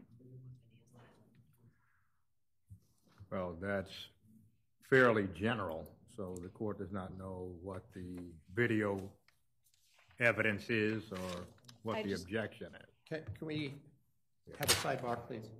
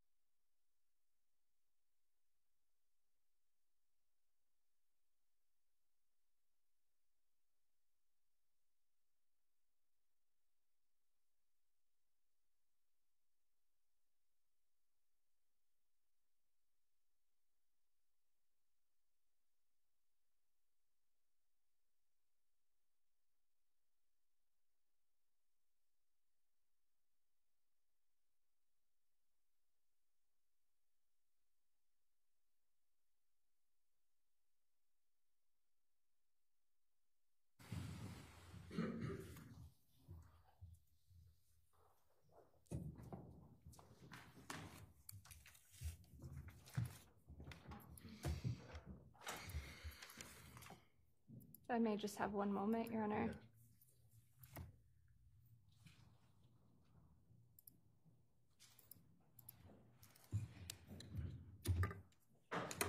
The state's intention now to um, play states 37 and inquire for the witness, Your Honor. I- Uh, Sir, if I may, uh, Mr. Quint, prior to playing anything, uh, was there a, were you asked to get, or was further video from C4 regarding the intersection of Albany Avenue and Garden Street uh, obtained? Yes. Okay, and what, uh, what time period? Uh, We were asked to save from the 24th to the 30th. Okay, was BriefCam used at all during that um, time period? I don't recall. Okay, was that video given to anybody? Yes, Who was it given to? the state police. Okay, Your Honor, at this time, the state would offer 512. Um, I can play it for the witness, but I don't know if counsel wishes to make an objection at this time. And, and and if I may just inquire if, whether this is the uh, a proper witness for that, if I may? Your Honor, this, uh, Mr. Quint works at C4. I plan on opening up the, the uh, video and inquiring the same questions as before, which is what camera this is and, uh, My question is, did this witness then obtain the one, or did he used the word "we," which usually suggests it wasn't, unless it's the royal we? It may not have been him, so I just want to clarify that. From the court's discussions, this witness can only testify as to the date, time, and location of the camera. That's what the That court is- understands. yes, Your Honor, that is all I'm going to inquire from this witness, is which camera this is, the date, the time it shows, and then the state's intention is to offer the video and then rest, be, rest with Mr. Quinn. I I just want to, it's from a different day. I just want to clarify, we're talking about a different day? that We this are, one- we are talking about a different day. Th- Then I would just say that it's um, ir- not relevant to Mr. Konis, but that's my objection. Okay, thank you. Overruled. Thank you. So I'm going to have you take a look behind you if you can.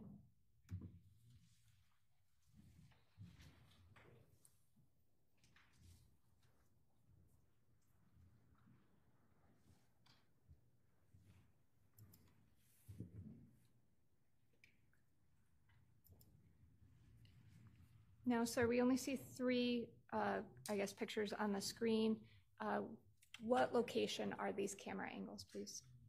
Uh, So the first one on the top left, that's Albany Garden, Albany Garden, uh, camera's faced southeast. Uh, The second one on the top right is Albany Garden, and the camera's faced west.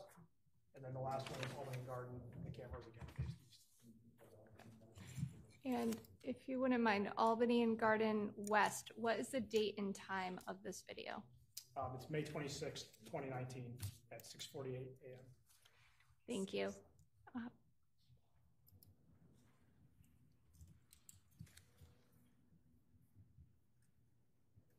Sir, did you, you can have a seat if you can. Thank you. And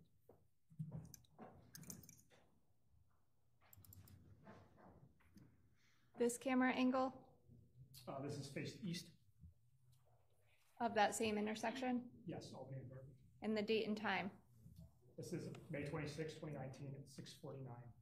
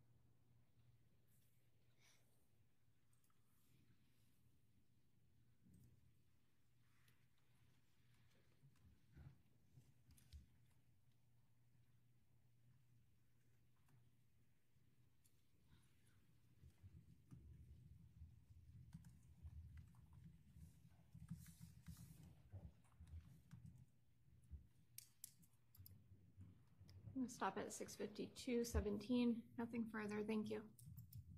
Thank you. Cross-examination, Attorney Schoenhorn.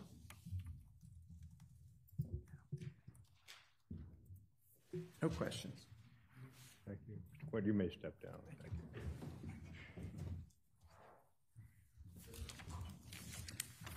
Your Honor, the state has uh, Mr. Attmore, or I should say Trooper Attmore.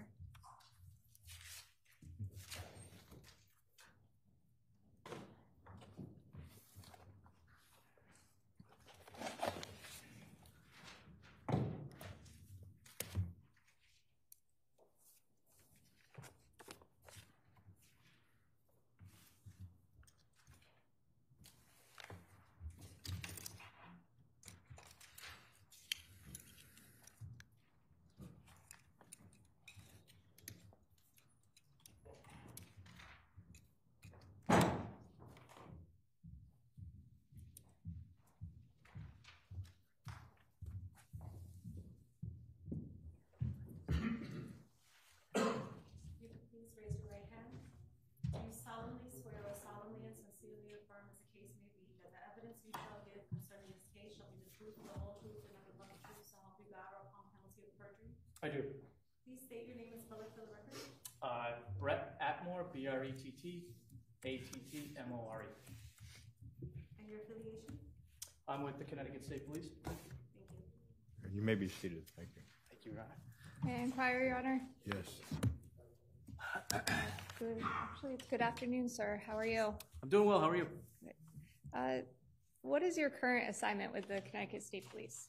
I'm the resident trooper in Barkhamsted. Okay, How long have you been the resident trooper at Barkhamsted? Uh, two and a half years. Prior to that, what did you do? Uh, on and off, I've been a patrol trooper, um, and then uh, I, I spent about five years in major crime. When you say major crime, was there a particular division or department you were assigned to? I was assigned uh, out of the Troop H office, and prior to that, out of the uh, Westbrook Troop F office. Troop H, what it, does that cover? Uh, that's all of the, uh, there's 13 different towns, highways, um, state buildings, prisons, um, In what areas? Hartford, greater Hartford area. So were you a part of the Central District Major Crimes? I was. Okay, for what years were you assigned to the Central District Major Crimes? Uh, 2016 to 2020. And with respect to, uh, well, what types of investigations does Central District Major Crime investigate? Uh, mostly uh, larger scale crimes, felonies, um, burg, you know, uh, robberies, homicides, that sort of the, the more major crimes. And who was your sergeant in 2019? Uh, it would be uh, Matt Gonzalez. Now, I want to draw your attention specifically to 2019 around the time of May 30th, okay? Yeah. Now, were you called to assist in the investigation to the disappearance of Jennifer Dulos? Yes. What was your assignment on that day?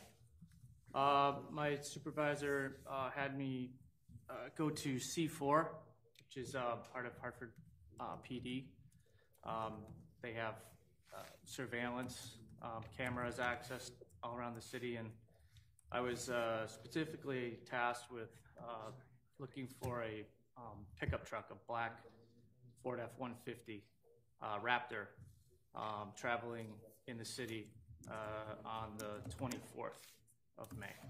Was there a specific time frame you were asked to look for? Uh, it was roughly uh, 7:30 p.m.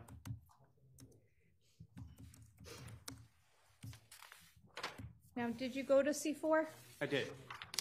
What day did you go to C4? Uh, May 30th. Now, did you review anything um, or watch any video cameras at C4? I did.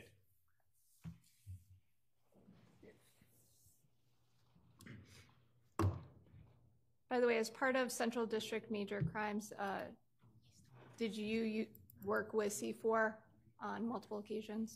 We did. Yes, Okay, so you were aware of its capabilities? I was. So with respect to, I believe it states 36.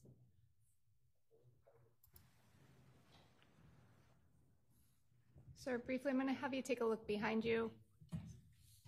Do you recognize what's depicted there? I do. Okay, what is that? Uh, cameras um, along Albany Ave, I believe, in uh, Hartford. Okay. Um, now, when you arrived at C4 that day, did you uh, observe, I can,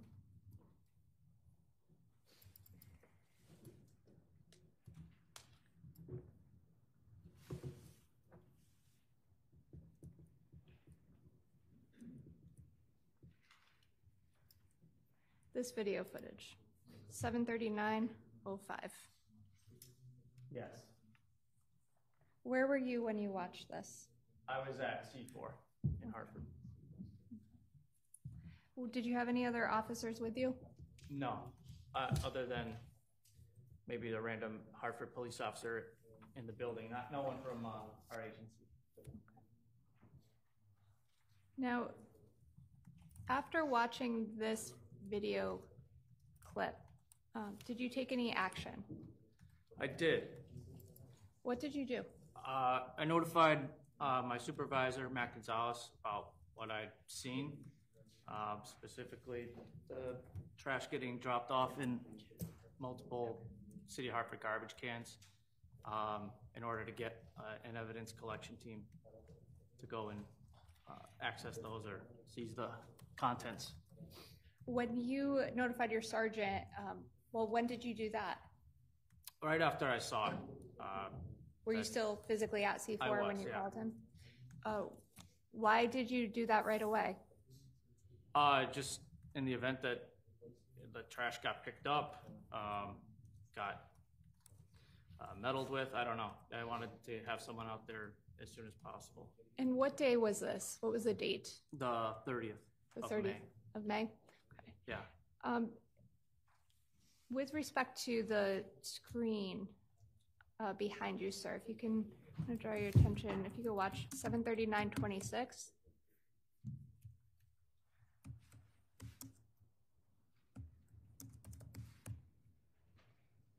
I'm going to stop it at 73938. Uh, with respect to this garbage can, did you notify the, your sergeant with respect to that, I did. as well as this one? Yes. Okay. Now, did you look at other cameras as well? I did. Which ones?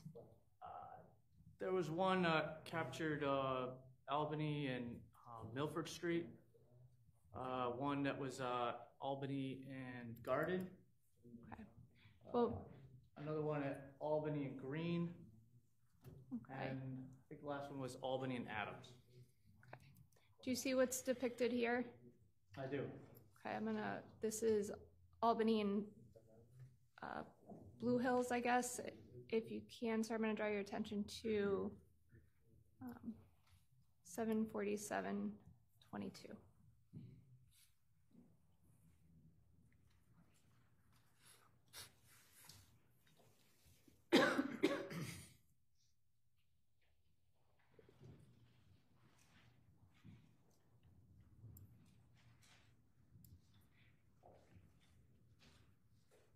Now, sir, is this the a video recording that you watched on May 30th, 2019?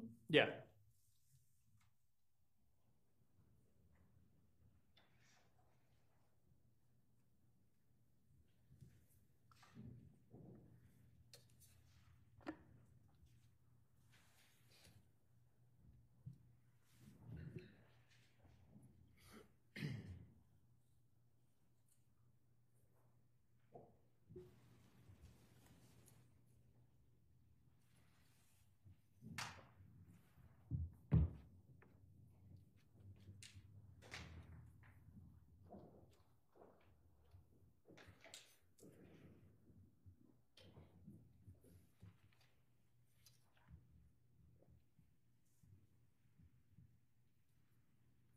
Sir, did you take any action with respect to uh, anything really after watching this video? Again, I notified my supervisor um, about the location of um, this particular instance. It looked like a, a sewer. Um, and Well, let- something was placed in it. Let me ask you that, actually, if I can, go back just briefly.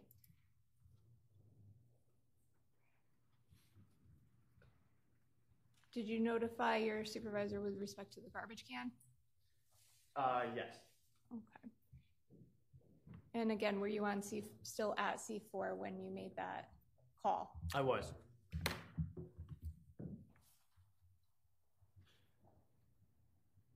Now, you also mentioned the sewer grate. Where is that located on the screen? Uh, kind of right up by the uh, passenger uh, door of the truck. If you wouldn't mind, sir, if you could go up and point. Right here. And for the record, you're pointing to the middle right side. Thank you, sir.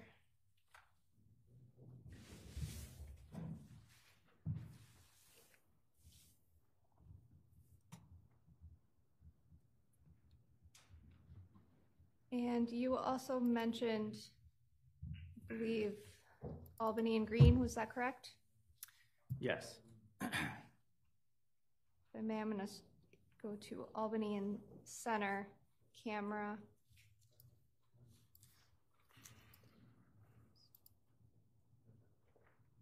Seven forty-one, please.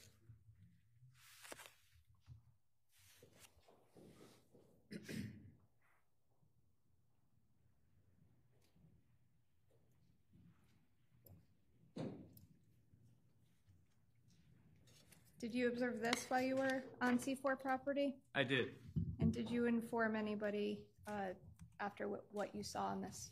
Yeah, again, I, I notified my supervisor.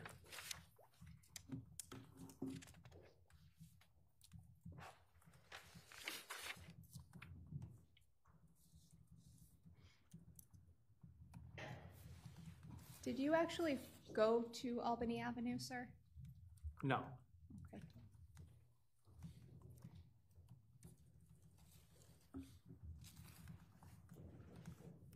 Now, do you recall what time of day this was that you watched these videos?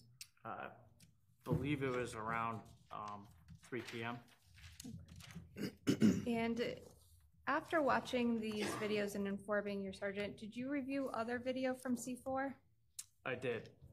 And What video did you resu- review? There was uh, more video of the corner of Albany and Garden, um, and it, it was played up till uh, I think the 26th of May. Why did you look for Albany and Garden video? Uh, that was a, a garbage can that uh, we saw trash placed in, and we were just uh, interested to see if ha- had been picked up already um, by the uh, garbage service in the, ci- in the city. Uh, just to be clear, the video you watched of the trash being placed in um, was the pla- trash was placed in on what day? The 24th, Okay, and you watched it on uh, on which date? the 30th. Okay. Did you watch when you watched the video from the 24th? How far did you get, or how long did you watch the video for uh, to determine if the trash had been picked up from that garbage can? Uh, it was determined that, that that particular garbage can was picked up on the 28th. Okay. Do you? How do you know that? Uh, we could we could see the garbage truck uh, picking up the garbage can. So So did you watch the video for that time? yeah, time? yes. Okay, and it would, do you know what time the trash can came and picked up that video? Uh, I'd have to reference my report for the the exact time uh, on the 28th. Um, do you have any idea, or would you refresh your recollection, take a look at your report? It would uh, refresh my recollection. Okay. If I could look at that.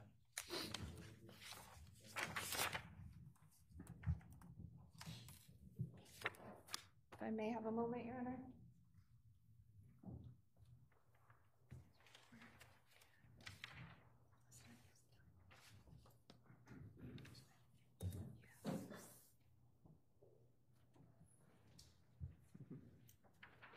may just approach the clerk. Yes.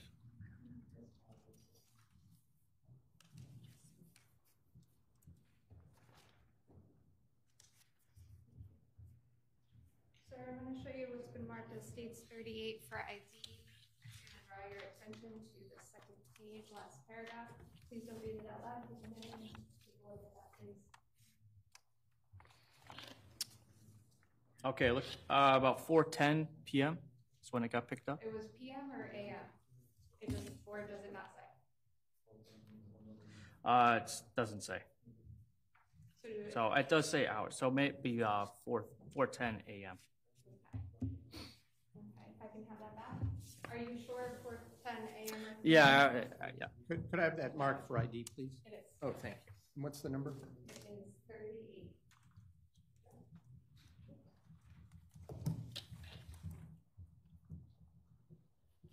Now, in your review of that video, sir, did you, that was Albany and Green?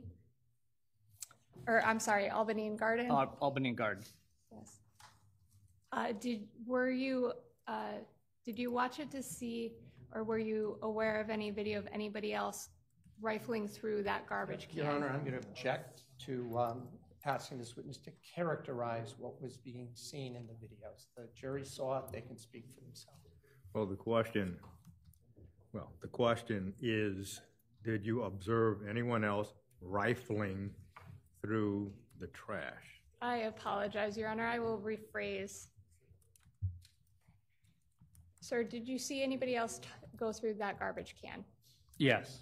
Okay, at what time, uh, or when, I should say? It was on the 26th of May, uh, sometime around 6 AM.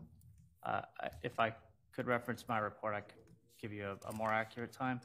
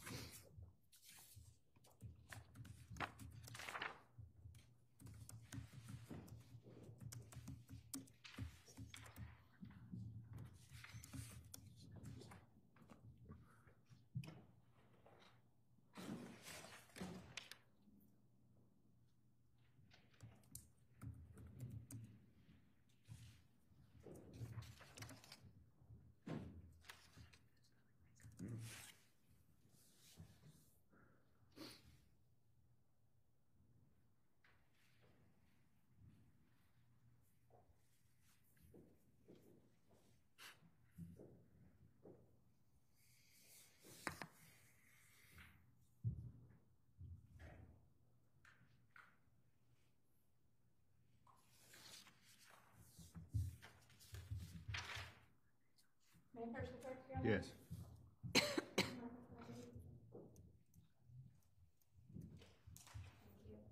Sir, case nine thirty-nine for ID. Again, please, uh, I'll draw your attention to page two. You can, don't read it out loud, just take a look and see if that refreshes your recollection as to the time.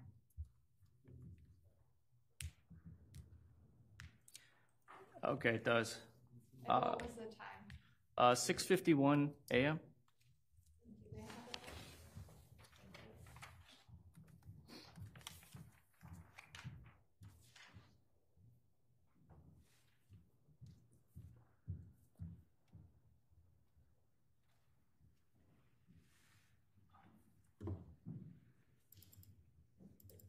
I'm going to draw your attention to states 37. Please take a look.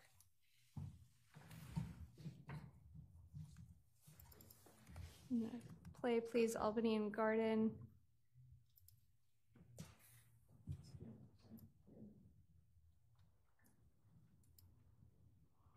Six fifty, twenty-five.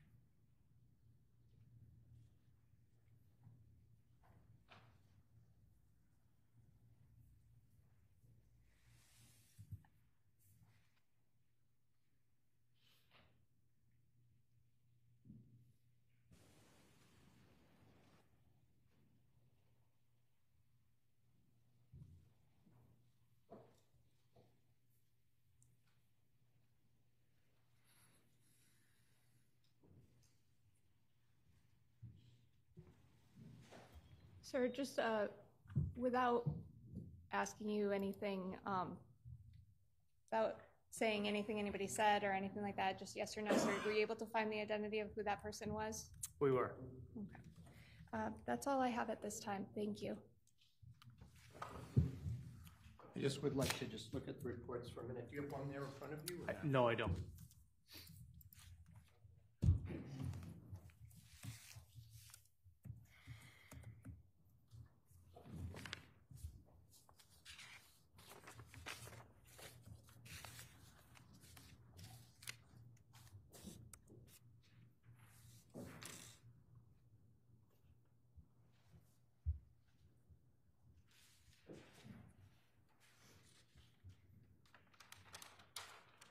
Sir, I just have like a couple of questions.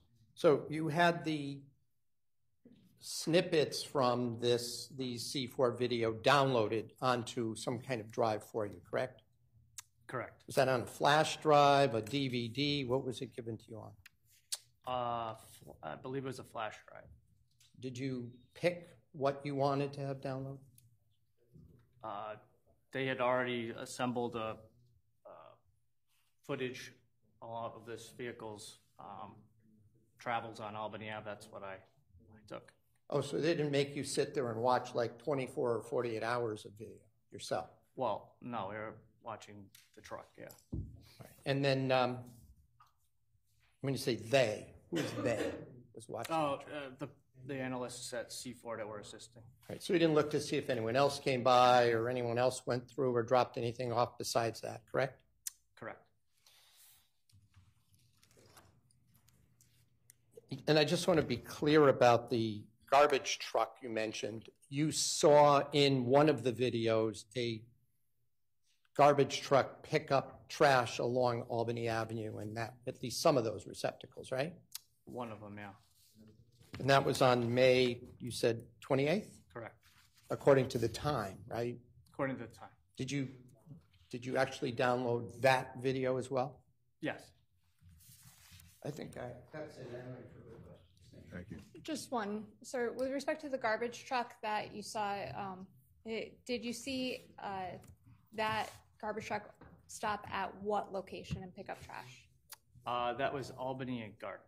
Okay, but you didn't see it pick up trash at the other locations? I didn't. Thank you. Did you watch the multiple days from the 24th to 28th to see if any others got picked up? Uh, no. Thank you.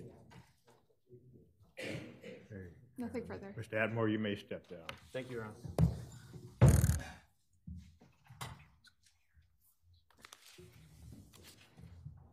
Your Honor, with respect to our next witness, I believe he was told to come for one. We're ending the morning a little early.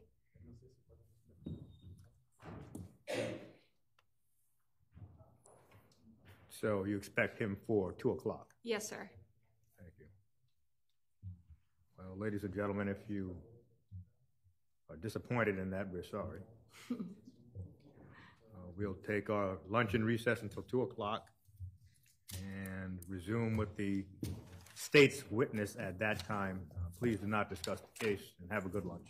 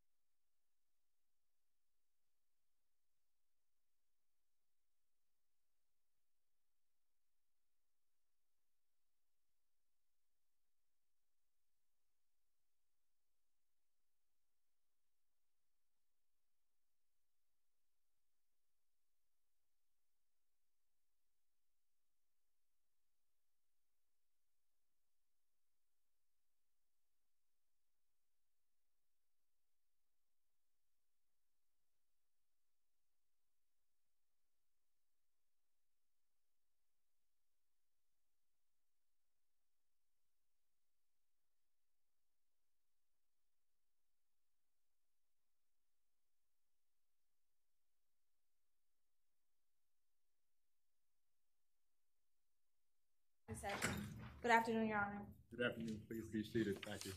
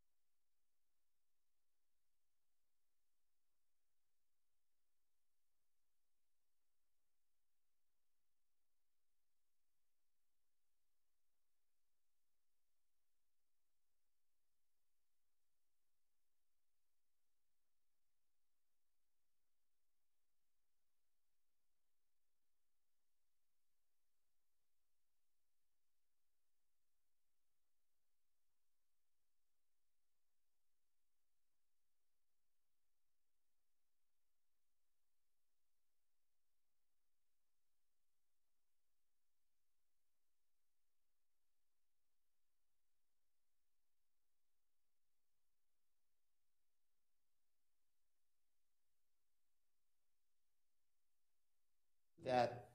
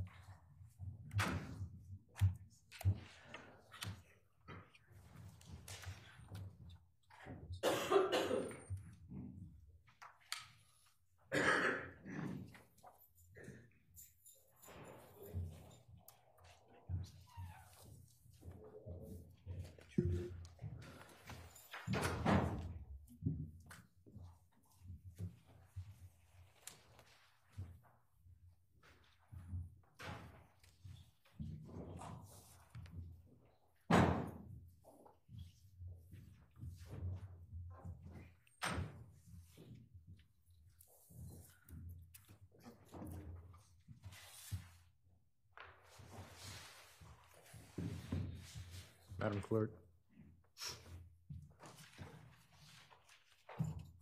Madam Clerk, there's a witness. Please raise your right hand. Do you solemnly swear or solemnly and sincerely affirm, as the case may be, that the evidence you shall give concerning this case shall be the truth, the whole truth, and nothing but the truth, so help you God, or upon penalty of perjury? I do. Please state your name and spell it for the record.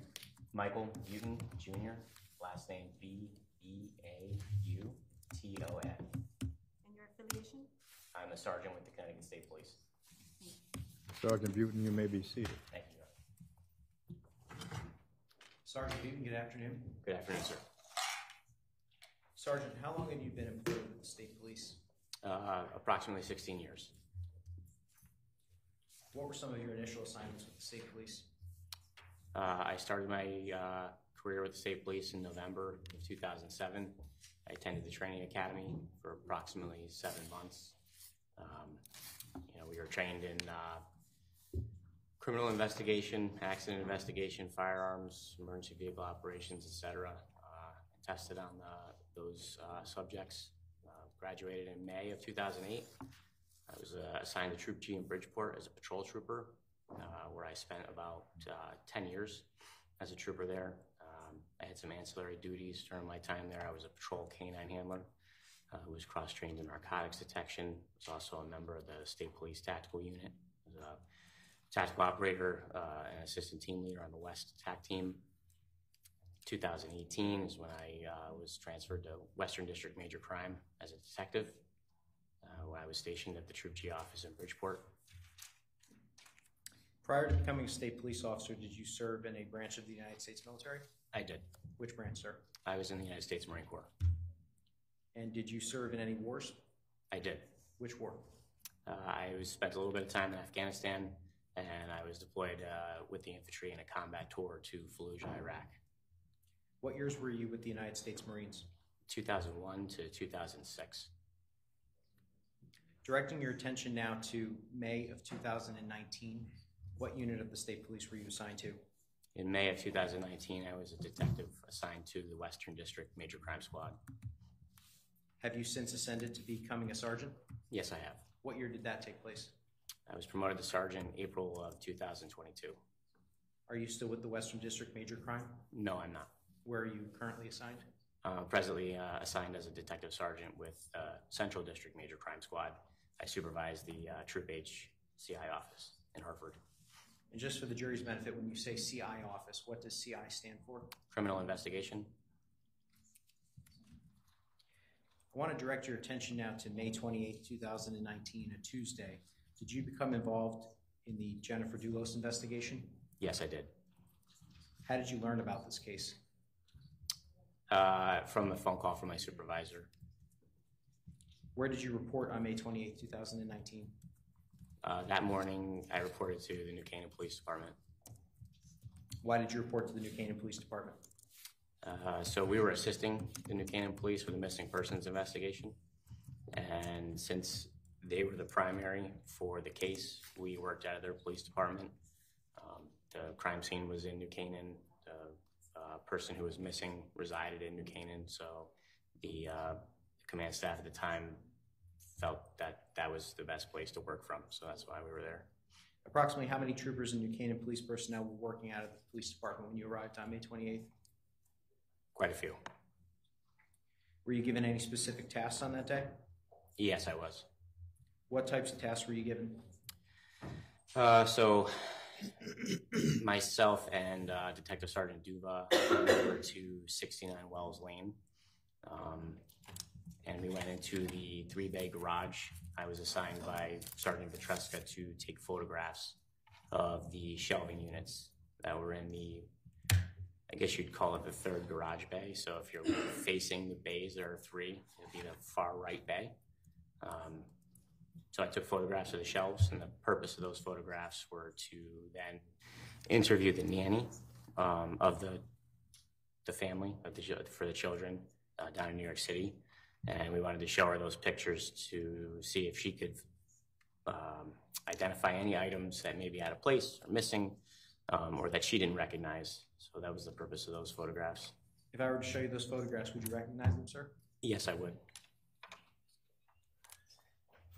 For the record, Your Honor, we're projecting States Exhibit 16, which is a disc.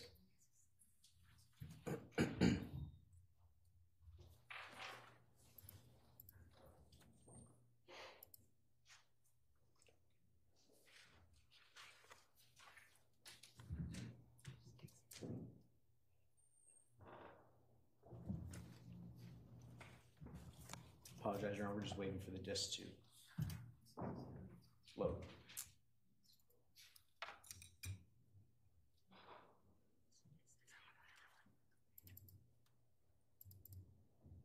And I'm gonna ask, uh, if we can begin with item number three in that disc.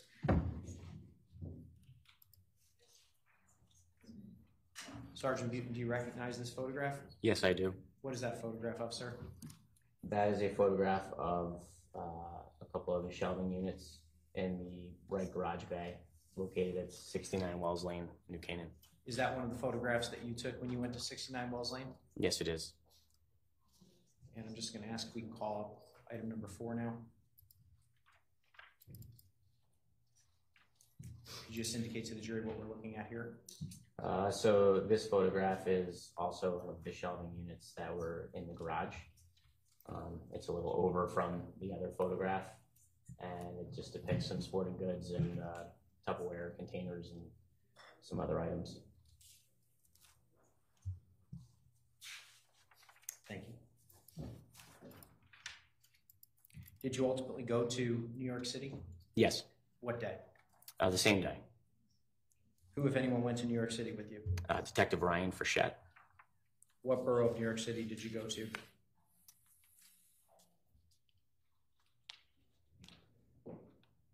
Uh, so we were in Manhattan on Park Avenue for one of the stops. Um, I don't recall the other borough. Uh, Specifically with respect to Miss Almeida. it was in Manhattan.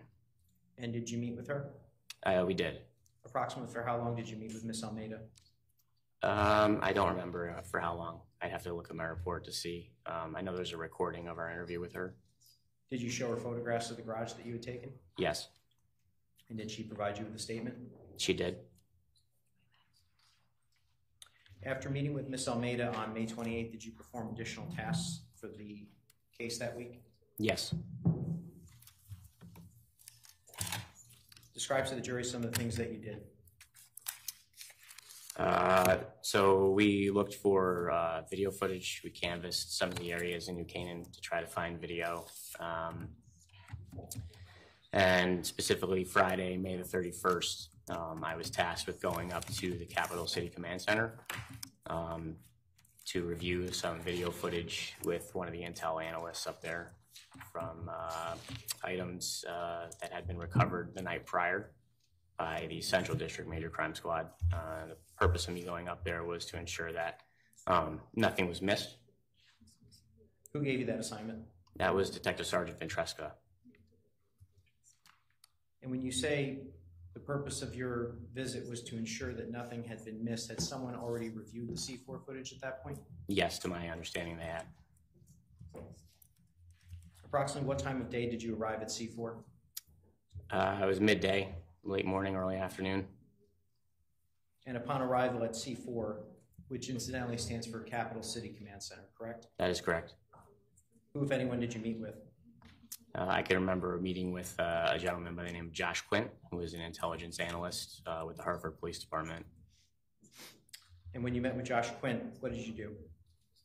Uh, so he began to take me through some of the footage that they had found um, using the computer program that they have. Um, they're able to find certain vehicles of uh, uh, a type and color, as I understand it. And so um, those folks were given the types of vehicles that we were interested in that were associated with Mr. Dulos. Uh, so they, they ended up finding a black, what appeared to be a black Ford Raptor pickup truck traveling uh, along Albany Avenue, um, where Mr. Dulos had discarded um, several items in the city trash receptacles. So he began to uh, show me some of that footage. And did you have a description of Mr. Dulos prior to arriving at C4? Uh, yes, And did you also have a description of someone named Michelle Troconis? yes, I did. Do you see Michelle Michelle Troconis in the courtroom? Yes, I do. Could you point her out and tell us what article of clothing she's wearing, a shirt, color shirt? She is seated uh, on the, my right side of the table over there. She's wearing what appears to be a blue coat and a green sweater. Judge, she identified the defendant. What was the general description of Michelle Troconis that you had? Uh, I, I didn't see any Your. Honor, hearsay? Well, what was the general description? Well, it's offered to show, as the court hears it, what to look for, That's right. so overruled. What was the general description you had of Michelle Troconis? Uh, I didn't have a photograph of her, but I was told that she was uh, uh, middle aged, tall, slender, and had brown hair. And have you since had a chance to meet with uh, the defendant in person? Yes, And did she match that general description? she did. As you were reviewing the C4 footage, did you review any video in which it appeared that an object consistent with a WeatherTech liner was displayed? Yes, I did. Your Honor, I'm going to object. The video speaks for itself. The the, the, the jury has now seen it multiple times. That's a leading question. It also assumes facts not in evidence, and I ask that it be stricken. Well, the question was, did you uh, review the video and see what would be described as a WeatherTech mat? Well, that's leading. The jury has seen the video, but the court is not certain that the jury could conclude that what came out of that vehicle was a WeatherTech mat. So as far as a leading question is concerned, the court will sustain the objection.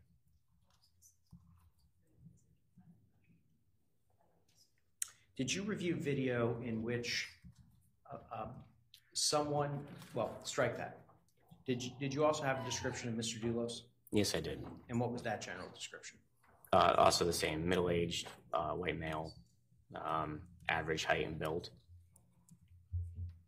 And did you review video in which Mr. Dulos had objects in his hands? Your Your Honor, I'm going to object. Nobody's identified the video individual at this point, so it's not only leading, but it's assuming facts not in it. I'll rephrase. Did you review video in which someone who matched the general description of Mr. Dulos that you had been provided had objects in his hands? Yes, I did. All right.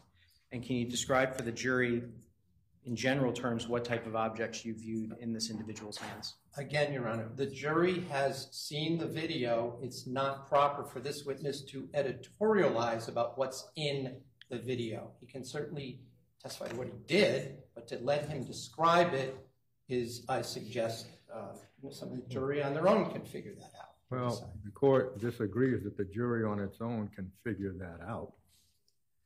It is not clear that the jury could figure out that what was held was a WeatherTech mat.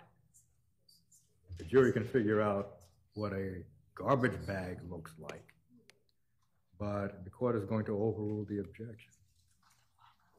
You may answer, sir. I'm sorry, could you repeat the question for me? Did someone who matched the general description of Mr. Dulos have any objects in his hand, and can you describe what objects you viewed?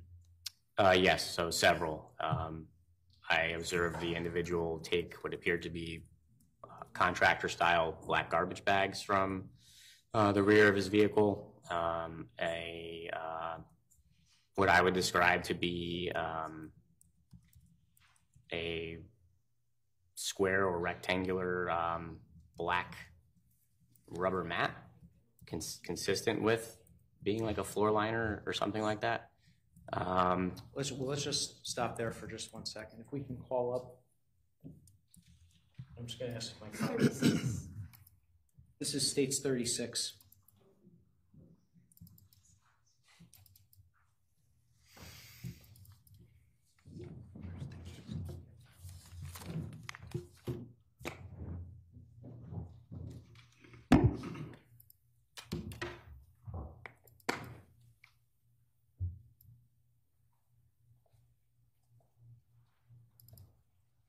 Just going to ask that we pause it right there for just one moment. Um, Sergeant Beauton, is this the uh, C4 footage that you reviewed? yes, it is.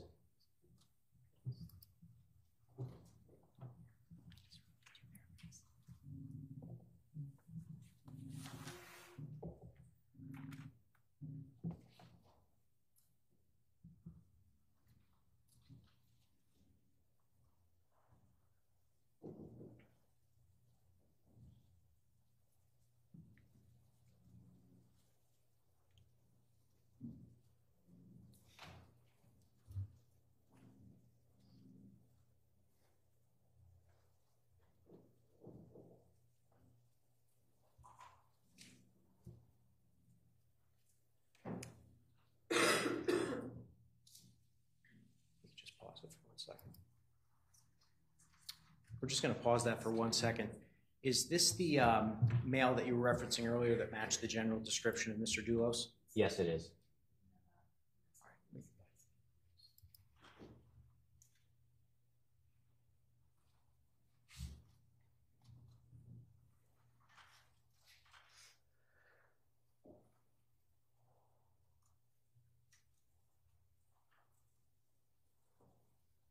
Pause that for one second. Just going to pause it there. Sergeant Beauton, you testified earlier that you observed this male holding what appeared to be a rubber mat. Is that correct? Correct. Is this the object that you were referring to? Yes, it is. Again, Your Honor, I just want to make clear, I'm objecting, this is lay opinion, it's speculation. Um, There's no, from this, you could certainly not tell what material it's made out of. It's irrelevant.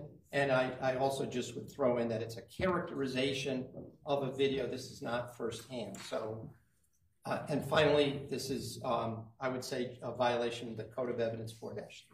Well, the court, based on the video and the objection, would pose a question.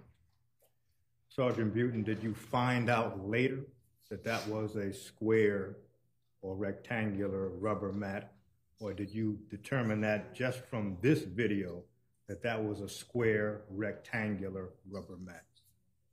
So it appears to me, just based on the video, Your Honor, but I also had knowledge of the fact that there was one missing. Well, again, it's now, Well, the answer is, the answer is, it appears that way, but I took other things into consideration. That's the answer, which suggests to this court that the video alone does not suggest that this is a black square rubber mat.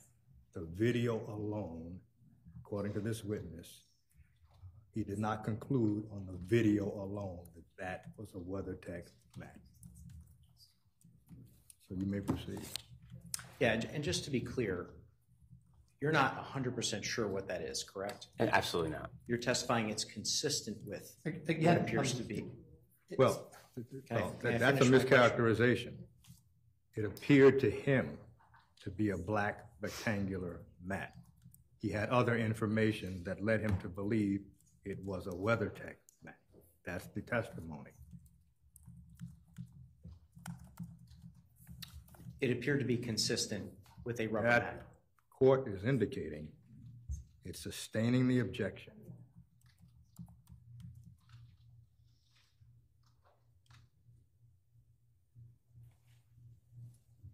You can finish playing it.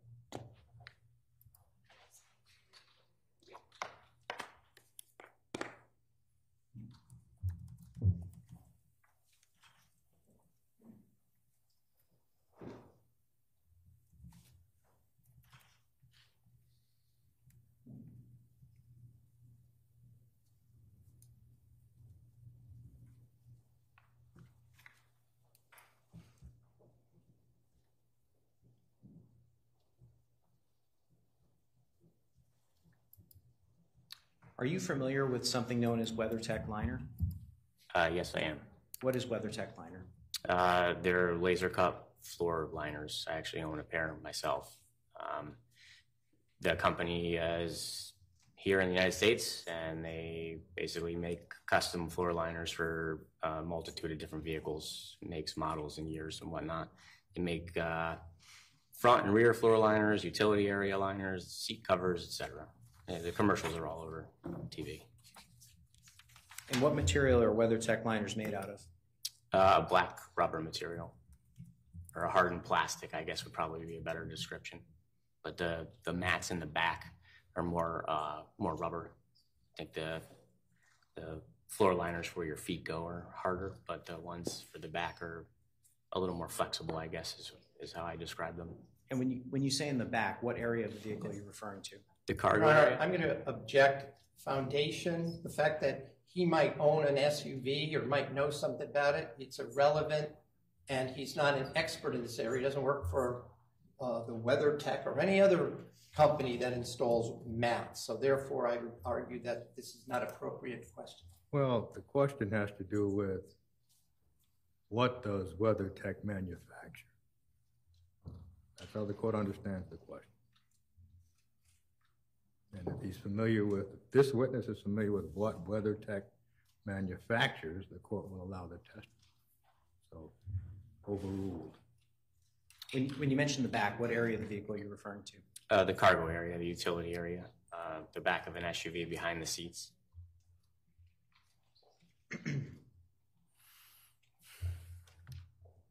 Did there come a point in time where you reviewed um, additional uh, surveillance footage in which the person who appeared to be the same male operator discarded additional items? Yes.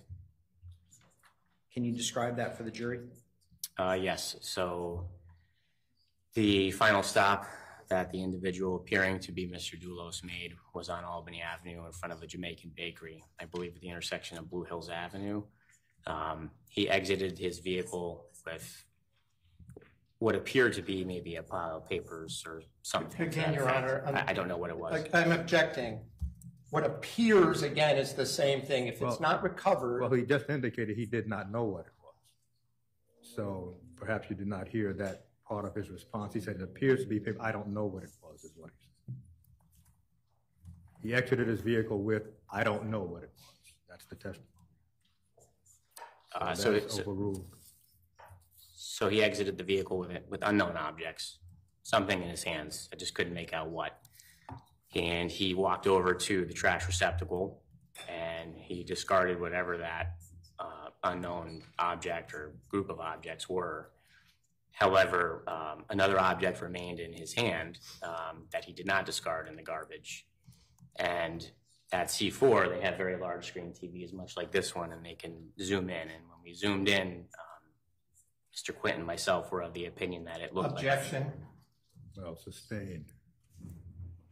When you zoomed in, were you able to see the colors of the object discarded in the sewer more clearly? Yes. Can you describe to the jury what color the object was? So the object overall looked white, and we saw like um, orange and blue um, on the object. And I could, I could say what that to me that looked like. But I No, that's all right. okay. Um,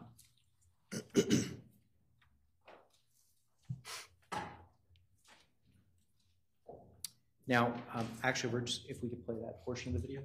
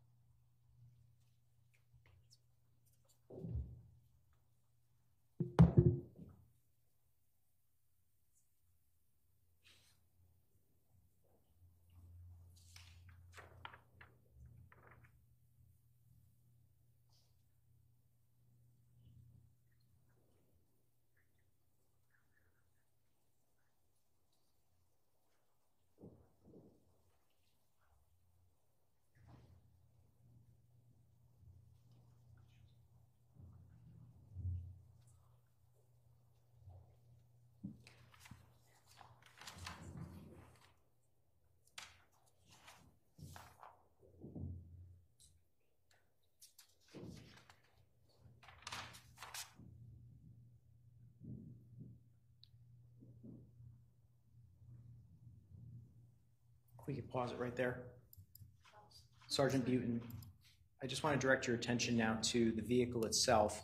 Does it appear as though a female passenger has exited the vehicle at this point? I point? would object, first of all, it's a mischaracterization. Nobody's exited it. And second of all, we're again having him characterize what's on the video that all of these jurors can see. I would submit that under State versus Holly, it's improper for a lay witness to narrate a video when he wasn't present for the incident. So if I can just be heard on this, Your Honor, and, and if I have to be heard at sidebar, I will, um, but I, I'd like to make an offer of proof to the court. Well, the question is, does it appear to you as if a female is exiting the Raptor? That's the question. So does it appear to you that a female passenger is exiting the Raptor? Well, the question itself, you can be heard, counsel, the question itself is an interpretive narrative. What the court and the jury is able to see is a door open, someone leaning out of that door. The issue of whether it's a female and whether she's exiting in the common sense of exiting, as in getting out of the vehicle, according to this video, would be a mischaracterization. I'll rephrase, Judge. So Can you just, at this point, the video is paused. Can you, um, directing your attention now to the individual uh, just above the male operator, can you describe that individual for the jury? Again, Your Honor, I think the, the image speaks for itself. And this witness is not in any better position than the jurors to see what's in the video. Well, In fact, may I be You at sharpen the question, counsel. Can- Can you describe the individual? What is seen here? You cannot tell height or weight. So what can be described from what is on the video is fairly limited. If that's the video from which you are asking the question. It is, Your Honor. I'm just simply asking him to describe what he's observing on the video. Well, what the court is going to do is listen to the description and entertain any objections after that. Could you describe the individual um, above the male operator? Uh, yes. So uh, it appears to be a white female.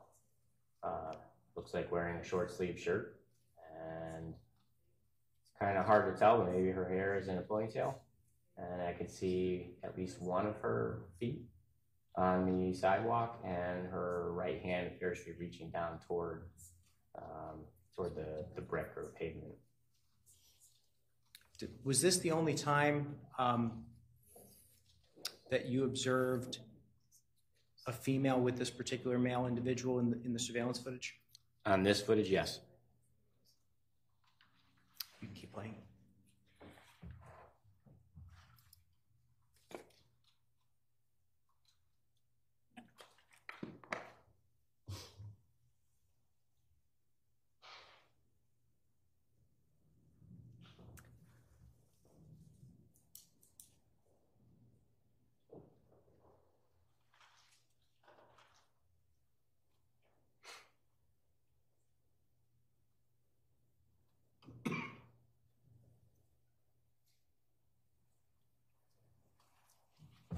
Sergeant Beauton, where on Albany Avenue is this particular trash receptacle and store located?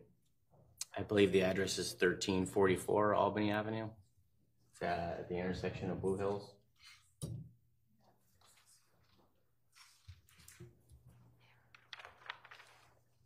Based on what you saw on this video, can you describe for the jury what actions you took? Uh, yes. So, uh, as I stated earlier, um, the individual appearing to be Mr. Dulos through some items. I'm going to object. The item- question was, what did you do next? And instead, he's giving another narrative. Well, the question is, well, what did you do after reviewing the video? And he began by saying, the individual who appeared to be Mr. Dulos, this is preliminary, as the court hears it, overruled. Um, The fact that uh, I observed that individual, individual throw those things out in the trash receptacle, but choose to discard whatever the other object was down the storm drain um, was interesting to me. And I wanted to try to recover whatever that was. Um, and so I inquired with the C4 folks um, about who maintained the storm drain and who we would use to um, assist us in recovering that item. And the answer I was given was uh, which is the Metropolitan District Control, or the a water authority essentially for the greater Hartford area. Um, they sent out a pump truck to us out on the street. Um, Let me ask, let me ask you another question. Sure. Did you head to this area of Albany Avenue? Yes. Approximately how long did it take you to arrive? I don't remember. Was it within the hour, would you say? Uh, yes. And who, if anyone, from the state police met you at this location? Uh, Detective Fitzsimons, uh, Detective Zella, who was on the dive team, um, Trooper Sanders, Trooper Chapman, also divers. Um, I had divers come just because I didn't know what we were going to encounter, if we were going to need them to go down there, or if the pump truck was going to be able to facilitate removing the item. Um, a lot of unknowns, so I was just trying to think outside the box and bring whatever resources I knew we had available to the area.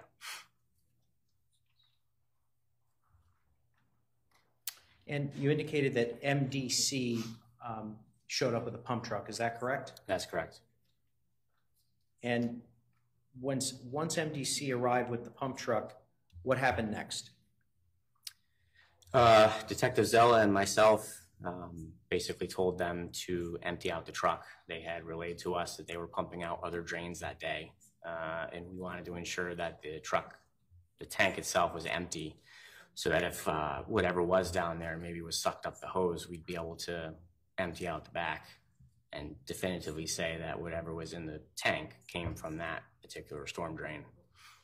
Did the MDC truck leave at that point? Yes, Did it eventually return? it did. Approximately how long did it take to return? Maybe a half an hour or so. And during this half hour, did you remain at that location with your fellow state police officers? Uh, I left quickly to meet up with the search and rescue canines. I gave them a map so they could begin to search the area of Albany and Milford. Um, the footage depicted that black Raptor turning onto Milford Street and uh, disappearing for some time before it came back out into the view on Albany Ave. So I got the search and rescue canines into that area so that they could begin to search that area. And after I met with them, I came back to um, the area of the storm drain. And were you present when the MDC truck arrived? Yes.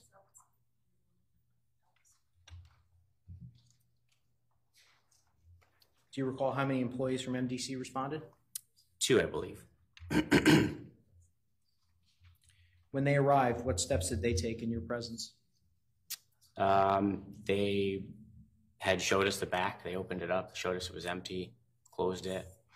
Um, they removed the grate um, from the storm drain. They had like a big hook that they put down there and pulled it out. Um, they lowered a hose down into uh, the storm drain where all the water was, and they turned on their truck and started to suck out water.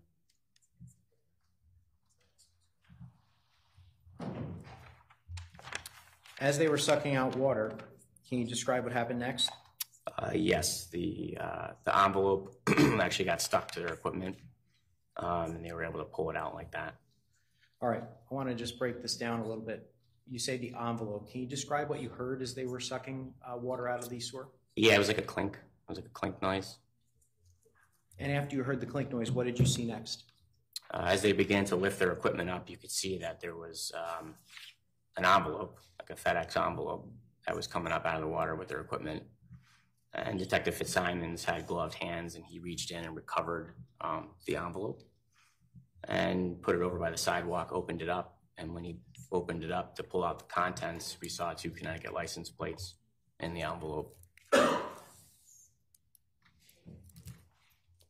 Were photographs taken of those license plates? Yes. May I have this marked for identification, Your Honor? What number? Well, not yet, but yes.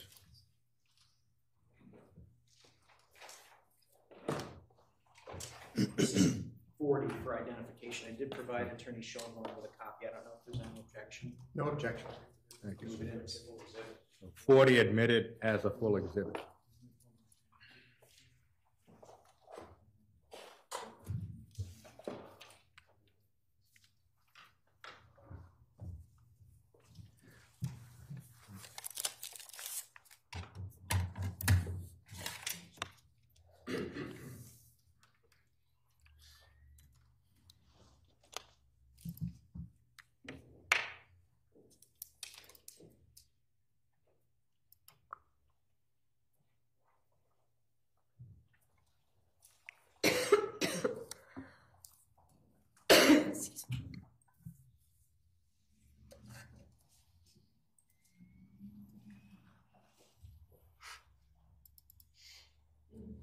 And I'm just going to begin with um,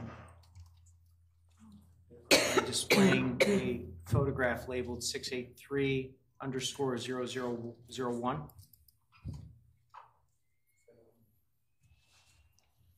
Sergeant Beauton, do you recognize that photograph, sir? Yes, I do. Can you tell the jury what that photograph is? Uh, that photograph is a picture of the white envelope that was uh, recovered from the storm drain on Albany and Blue Hills on And Friday, you- May 31st. Did you witness this envelope in the position it is in this photograph? Yes. Showing you um, photograph labeled 683 underscore 0002. Are those the license plates? Yes, they are. And did you view these license plates um, in their uh, position? Yes. As they are in this photograph? Yes.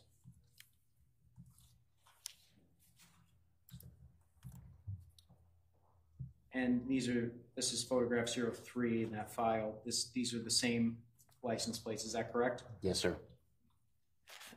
Photograph number four. Same license plates, correct? Yes. Um, Actually, if we could just leave that up for one second. The um, license plate here reads 5T6WBU, is that correct? Yes, sir, that's correct.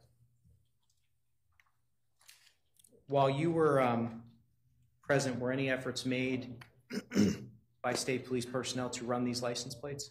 Yes. What were the results when these license plates were run? Uh, I called into dispatch and ran them as they are, and they came back to nothing. When you say they came back to nothing, what does that mean? It means there was no record found, meaning no such plates existed in the Connecticut DMV database. And so after you received notification that no such plates existed, did you notice anything about the sequence of the letters and numbers themselves? Uh, well, yeah, we noticed that they were a bit odd. Um, typically, uh, plates that were issued out like that were um, would start with three numbers and then end with three letters. And obviously, here you have um, a letter mixed in with the numbers, uh, so that was odd to us. And uh, to Detective Fitz uh, Simons' credit, he actually, with his gloved hand, started to mess around with some of the characters that looked funny, funny to us. And that's when we realized there was some effort made to alter their appearance. And when you say that there was some effort made to alter their appearance, can you be a little bit more descriptive for the jury? Yeah, yes. Um, so, if if I may, can I? Yes, sir. So this this T here, when uh, Detective Fitzsimons messed around with it, we could see that the, the top portion actually wasn't the plate itself. It was some type of blue tape with like a clear adhesive. That's the best way I could describe it. So this character is actually a one. Um, the same here. This was needed to be a B, but it's actually a D. And then here we have what is supposed to be a J with the extra material added to make it appear to be a U.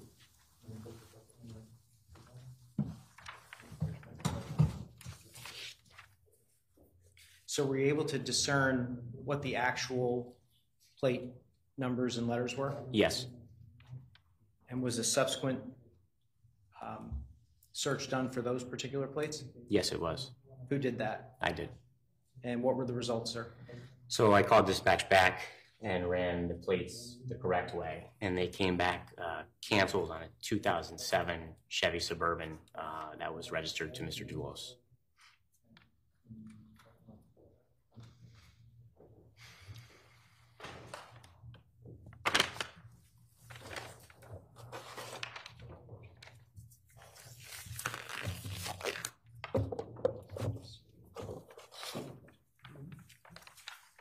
May I have this marked for identification?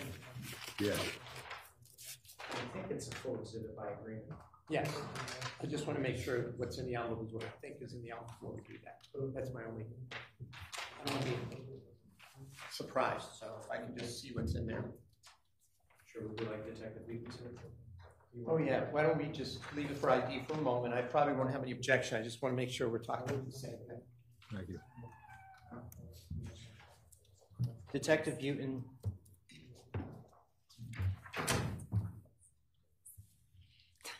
Better pair. Detective Beauton, did you um, seize those license plates? Yes.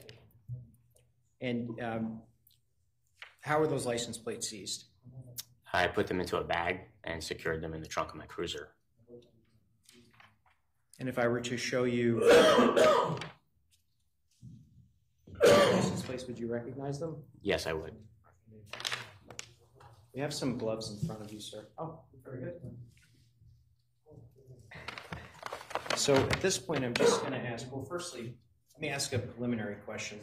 Um, There is evidence tape on this particular exhibit, is that correct? Yes. And there's also what appears to be uh, numbers DSS 19002984. That's the state laboratory number, is that correct? That's correct.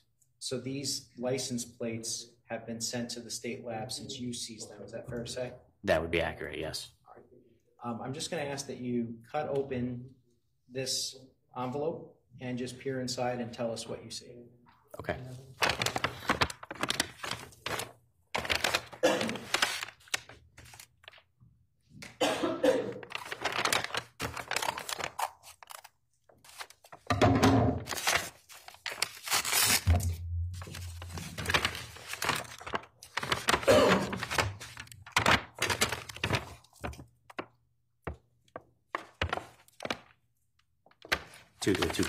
License plates that Is there anything else in the bag, sir? um, have to open it up a little more to see. Sorry.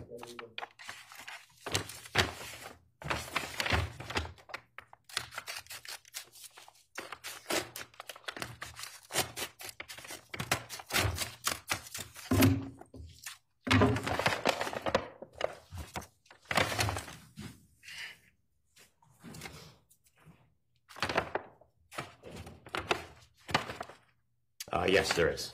What else is in the bag? It's, uh, it's a white FedEx uh, envelope that the plates were in. Are these the objects that you seized on May 31st, 2019? Yes, they are. Judge, I move it in.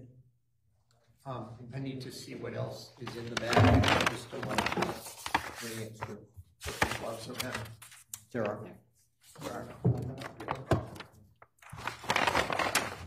We could just maybe do it over here on the side. if we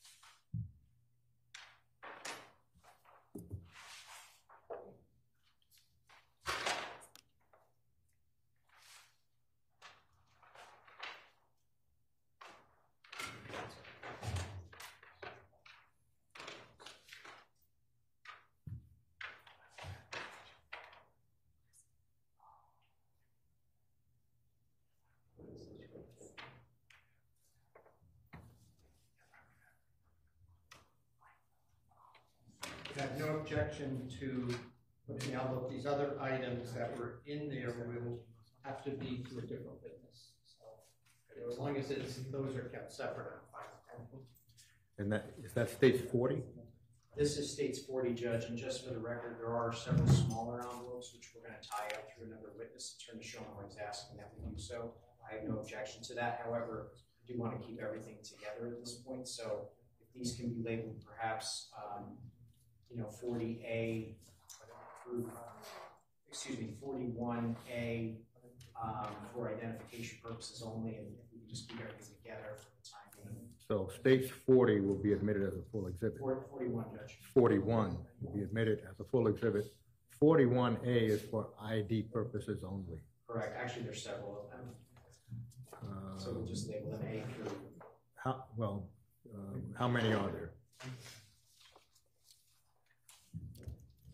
seven.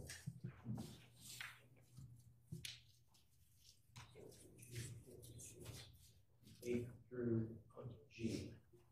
So forty-one A through G for ID only. Thank you. Forty-one A through G, identification purposes only. Well, it's about three thirty-three. We're going to stand in our afternoon recess, ladies and gentlemen. Uh, Please do not discuss the case. We shall return at three forty-three.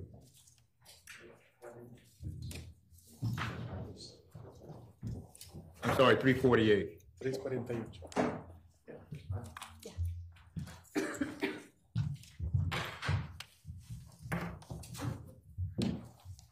All rise. This honorable Superior Court now stands in recess until three forty-eight. Even as the courtroom.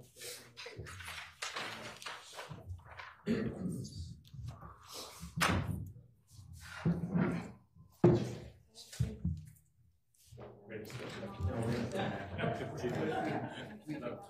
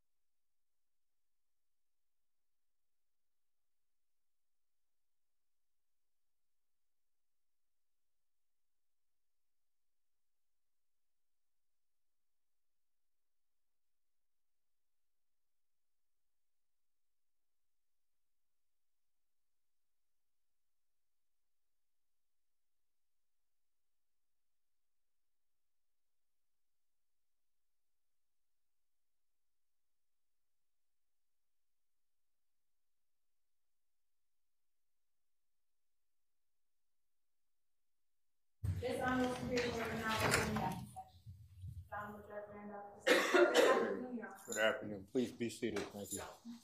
Right, they're coming in.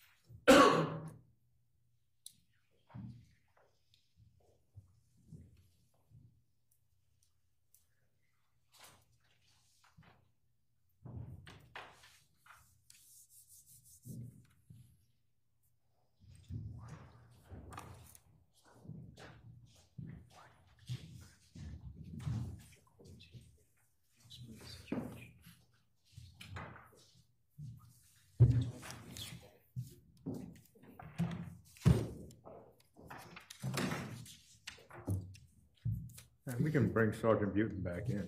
Yes, sir. And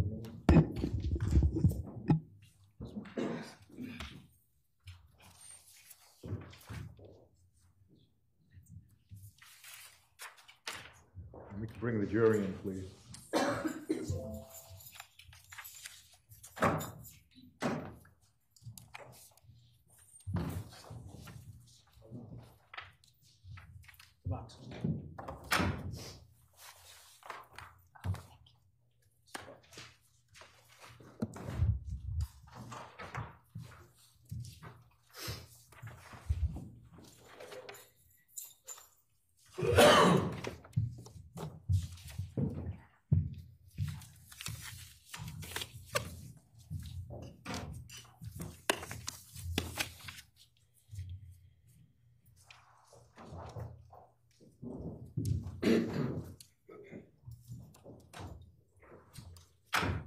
Okay, Will counsel stipulate, please?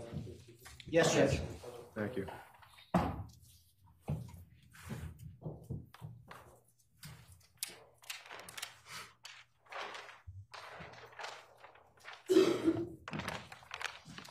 Handing you what's been entered into evidence. States, forty-one. I'm just gonna ask that you take out the license plates and the FedEx envelope only. Okay.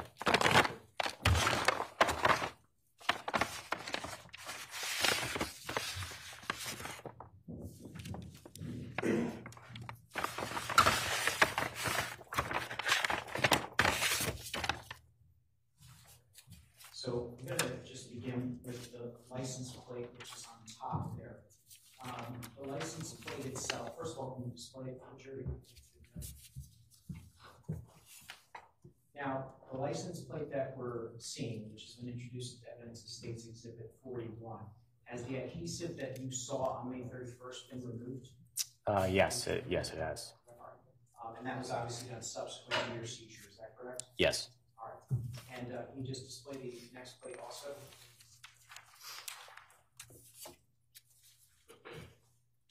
And similar situation, the adhesive that you had discussed earlier has been removed, is that correct? Yes. Just going to ask if you could just fan out the FedEx envelope for the jury as well.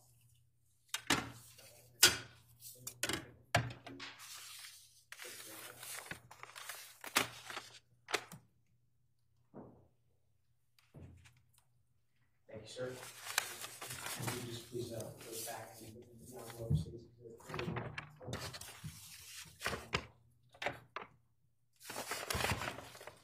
Before we proceed, we would ask the photographer during the course of the testimony, please return to the designated area.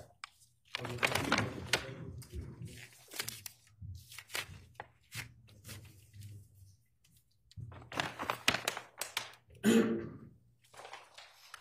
states forty-one to the clerk.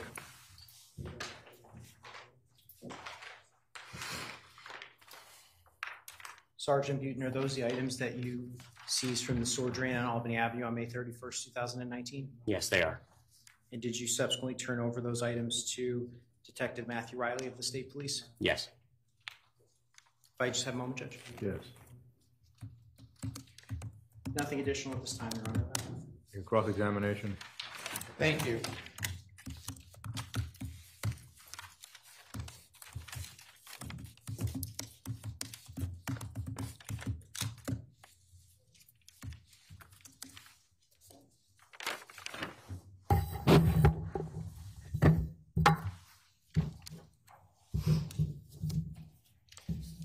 These license plates, Exhibit 41, you indicated that it came back to a vehicle that had been owned by Fotis Dulos, correct? Yes, sir. And as I understand it, that was a 2007 Chevy Suburban, is that correct? That is correct. That Chevy Suburban uh, and these license plates, let me, let me withdraw that and ask it a different way. The license plates had been canceled for many years, correct? I believe so, yes, sir.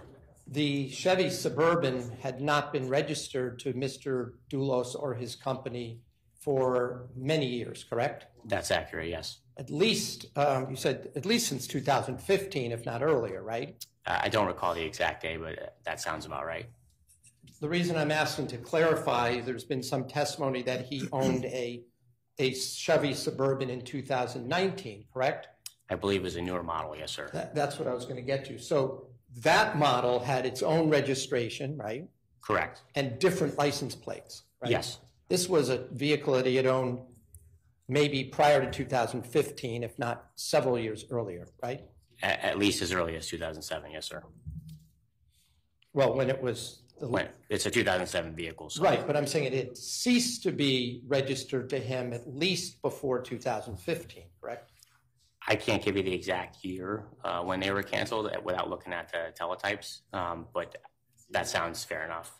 Right. Well, there may be some evidence of that further down. I was just trying to remember if you re- recollected that when you did the, you said you had somebody run those plates, right? Yes, I did. And that would be through the Department of Motor Vehicles, right? Uh, well, yes, sir. So a dispatcher would use the collect system, which accesses the DMV database. Yes. Yeah, and for the record, collect is, that's what it's called, C O L L E C T. They can look up old motor vehicle registrations, right? Among other things, yes, sir. And license plates. Yes. And see who was the last person to have that, those plates registered to them, correct? Accurate, yes, sir. Okay, very good.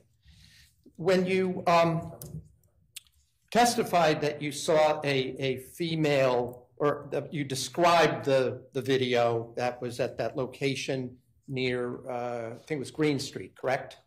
Uh, maybe in between Blue Hills. Blue Hills, yes, sir. Blue Hills, okay. So when you described that, you said that it, um, I think the words you used, that it met the general description of what you understood to be Michelle Troconis, right? Yes. And you gave a general description of her to, to the jury, right? Yes. And you're aware that, that Michelle Troconis told your colleagues that was in fact her in the uh, Ford Raptor, correct? I am now, yes. And she also, you're also aware that she told your fellow uh, state police officers that the driver, in fact, was Fotis Dulos on that day, right? As I sit here today, yes. Right. So when we're talking about it looks like maybe, at least my client told the police, yes, that's me and that's Fotis Dulos in that vehicle, right? Yes, sir. And although we've watched a number of different angles, you sat at C4 headquarters in Hartford and watch the various cameras, right? Yes, sir. But so that we're so that we're clear, despite the fact that there are multiple camera angles, in fact, the number of times that Fotis Dulos got out of his truck to throw something away totaled three that you can observe, correct? I'd have to look at my reports there to see. There's a the intelligence analyst produced like a timeline of all the occurrences, but I can't recall how many that is right Does now. that- Does that seem right to you? I don't want to commit to a number without looking at the report. I- I'm not really sure how many exactly. But if, even if we're looking at six, seven, or eight different angles, there aren't seven or eight different stops that we're looking at. In, e- in other words, each of those cameras isn't a different stop, is it? Each of the angles that view. Each of the cameras that we've watched is not a different stop with something being thrown away. You understand the question? I'm not sure I understand what you're getting at, sorry. I'll ask it a different way. The number of times that Mr. Dulos got out and threw something in, away from his truck is not equal to the number of cameras that we have here in this courtroom observed. Is that a fair statement? That would be accurate, yes. Okay. We've, in other words, we've seen more cameras than, than actual throwaway stops, right? Well, we've seen only a few here today. I don't know what else you've seen prior to me coming on the stand, but Well, I'm saying what we- we've seen under my testimony, yes. Fair enough.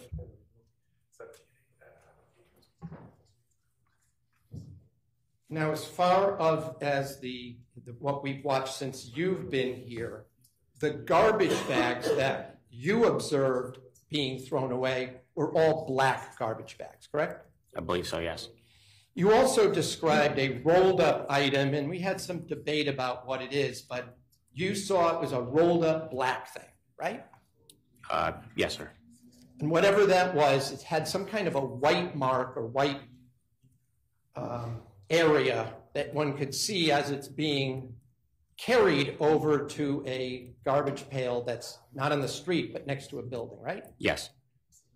Were you able to determine what that label or white mark was?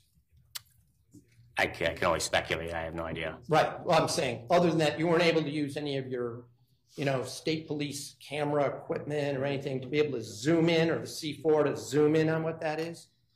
No, sir. My understanding that uh, I think uh, an individual took that mat away um, prior to it being recovered, so I don't think it was ever recovered.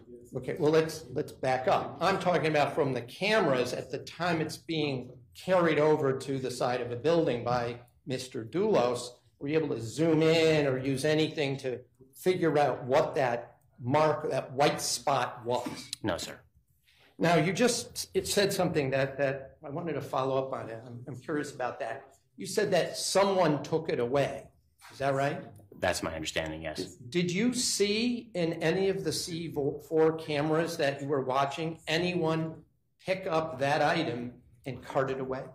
No, sir. That was information that was relayed to me by other individuals. Well, I'm asking about you. You Me personally, no.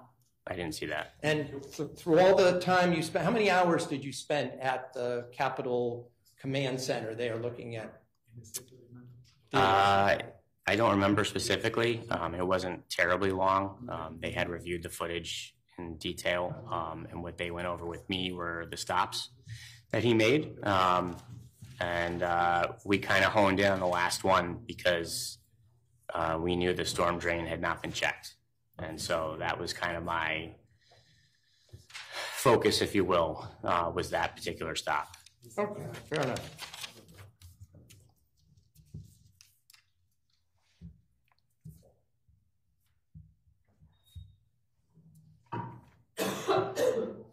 And just so we're also clear, from the video you saw, you could not tell whether that, i- that rolled up item was carpeting or plastic or rubber, or any particular material, is that right? It could have been anything. It could have been anything. There's no way to actually ever know unless I actually went there and put my hands on it. And although Mr. McGuinness kept talking about WeatherTech, it could have been any brand of any kind of plastic or rubber mat, right? Yeah, that's accurate.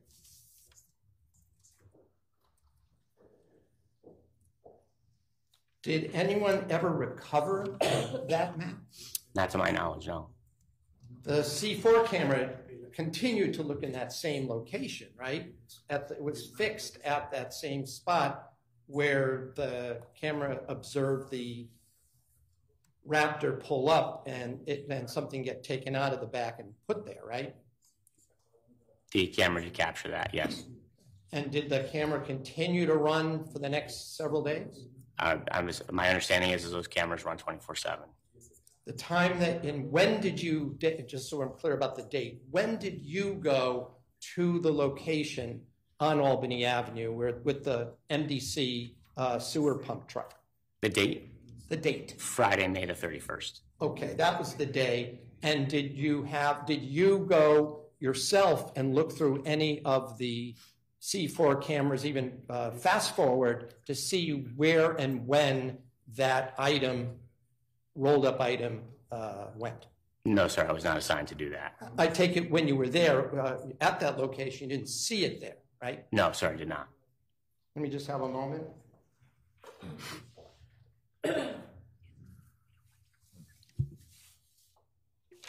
I have no, no further questions.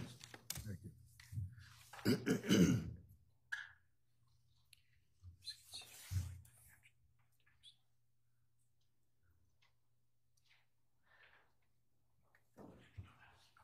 Nothing further, Judge. Thank you, Sergeant Beauton. You may step down. Thank you, Your Honor. And Judge, we will be recalling the sergeant later in the trial.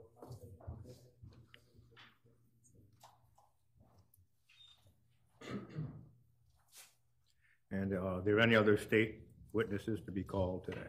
Not today, Your Honor. So, ladies and gentlemen, we have concluded the testimony for today. And for tomorrow, Attorney McGuinness, Attorney Manning, uh, do we have our witnesses lined up? Your Honor, for tomorrow, um, yes, I have at least uh, most of the witnesses lined up. There are a few additions that we are trying to schedule. I will let counsel know through email today once we get those concrete. Um, But it- beyond that, we do have witnesses to be presented. Thank you. Uh, Ladies and gentlemen, you are excused for today. Thank you for your patience. Uh, We will resume tomorrow at 10 o'clock, and please do not discuss, discuss the case or avoid any media about the case. Thank you.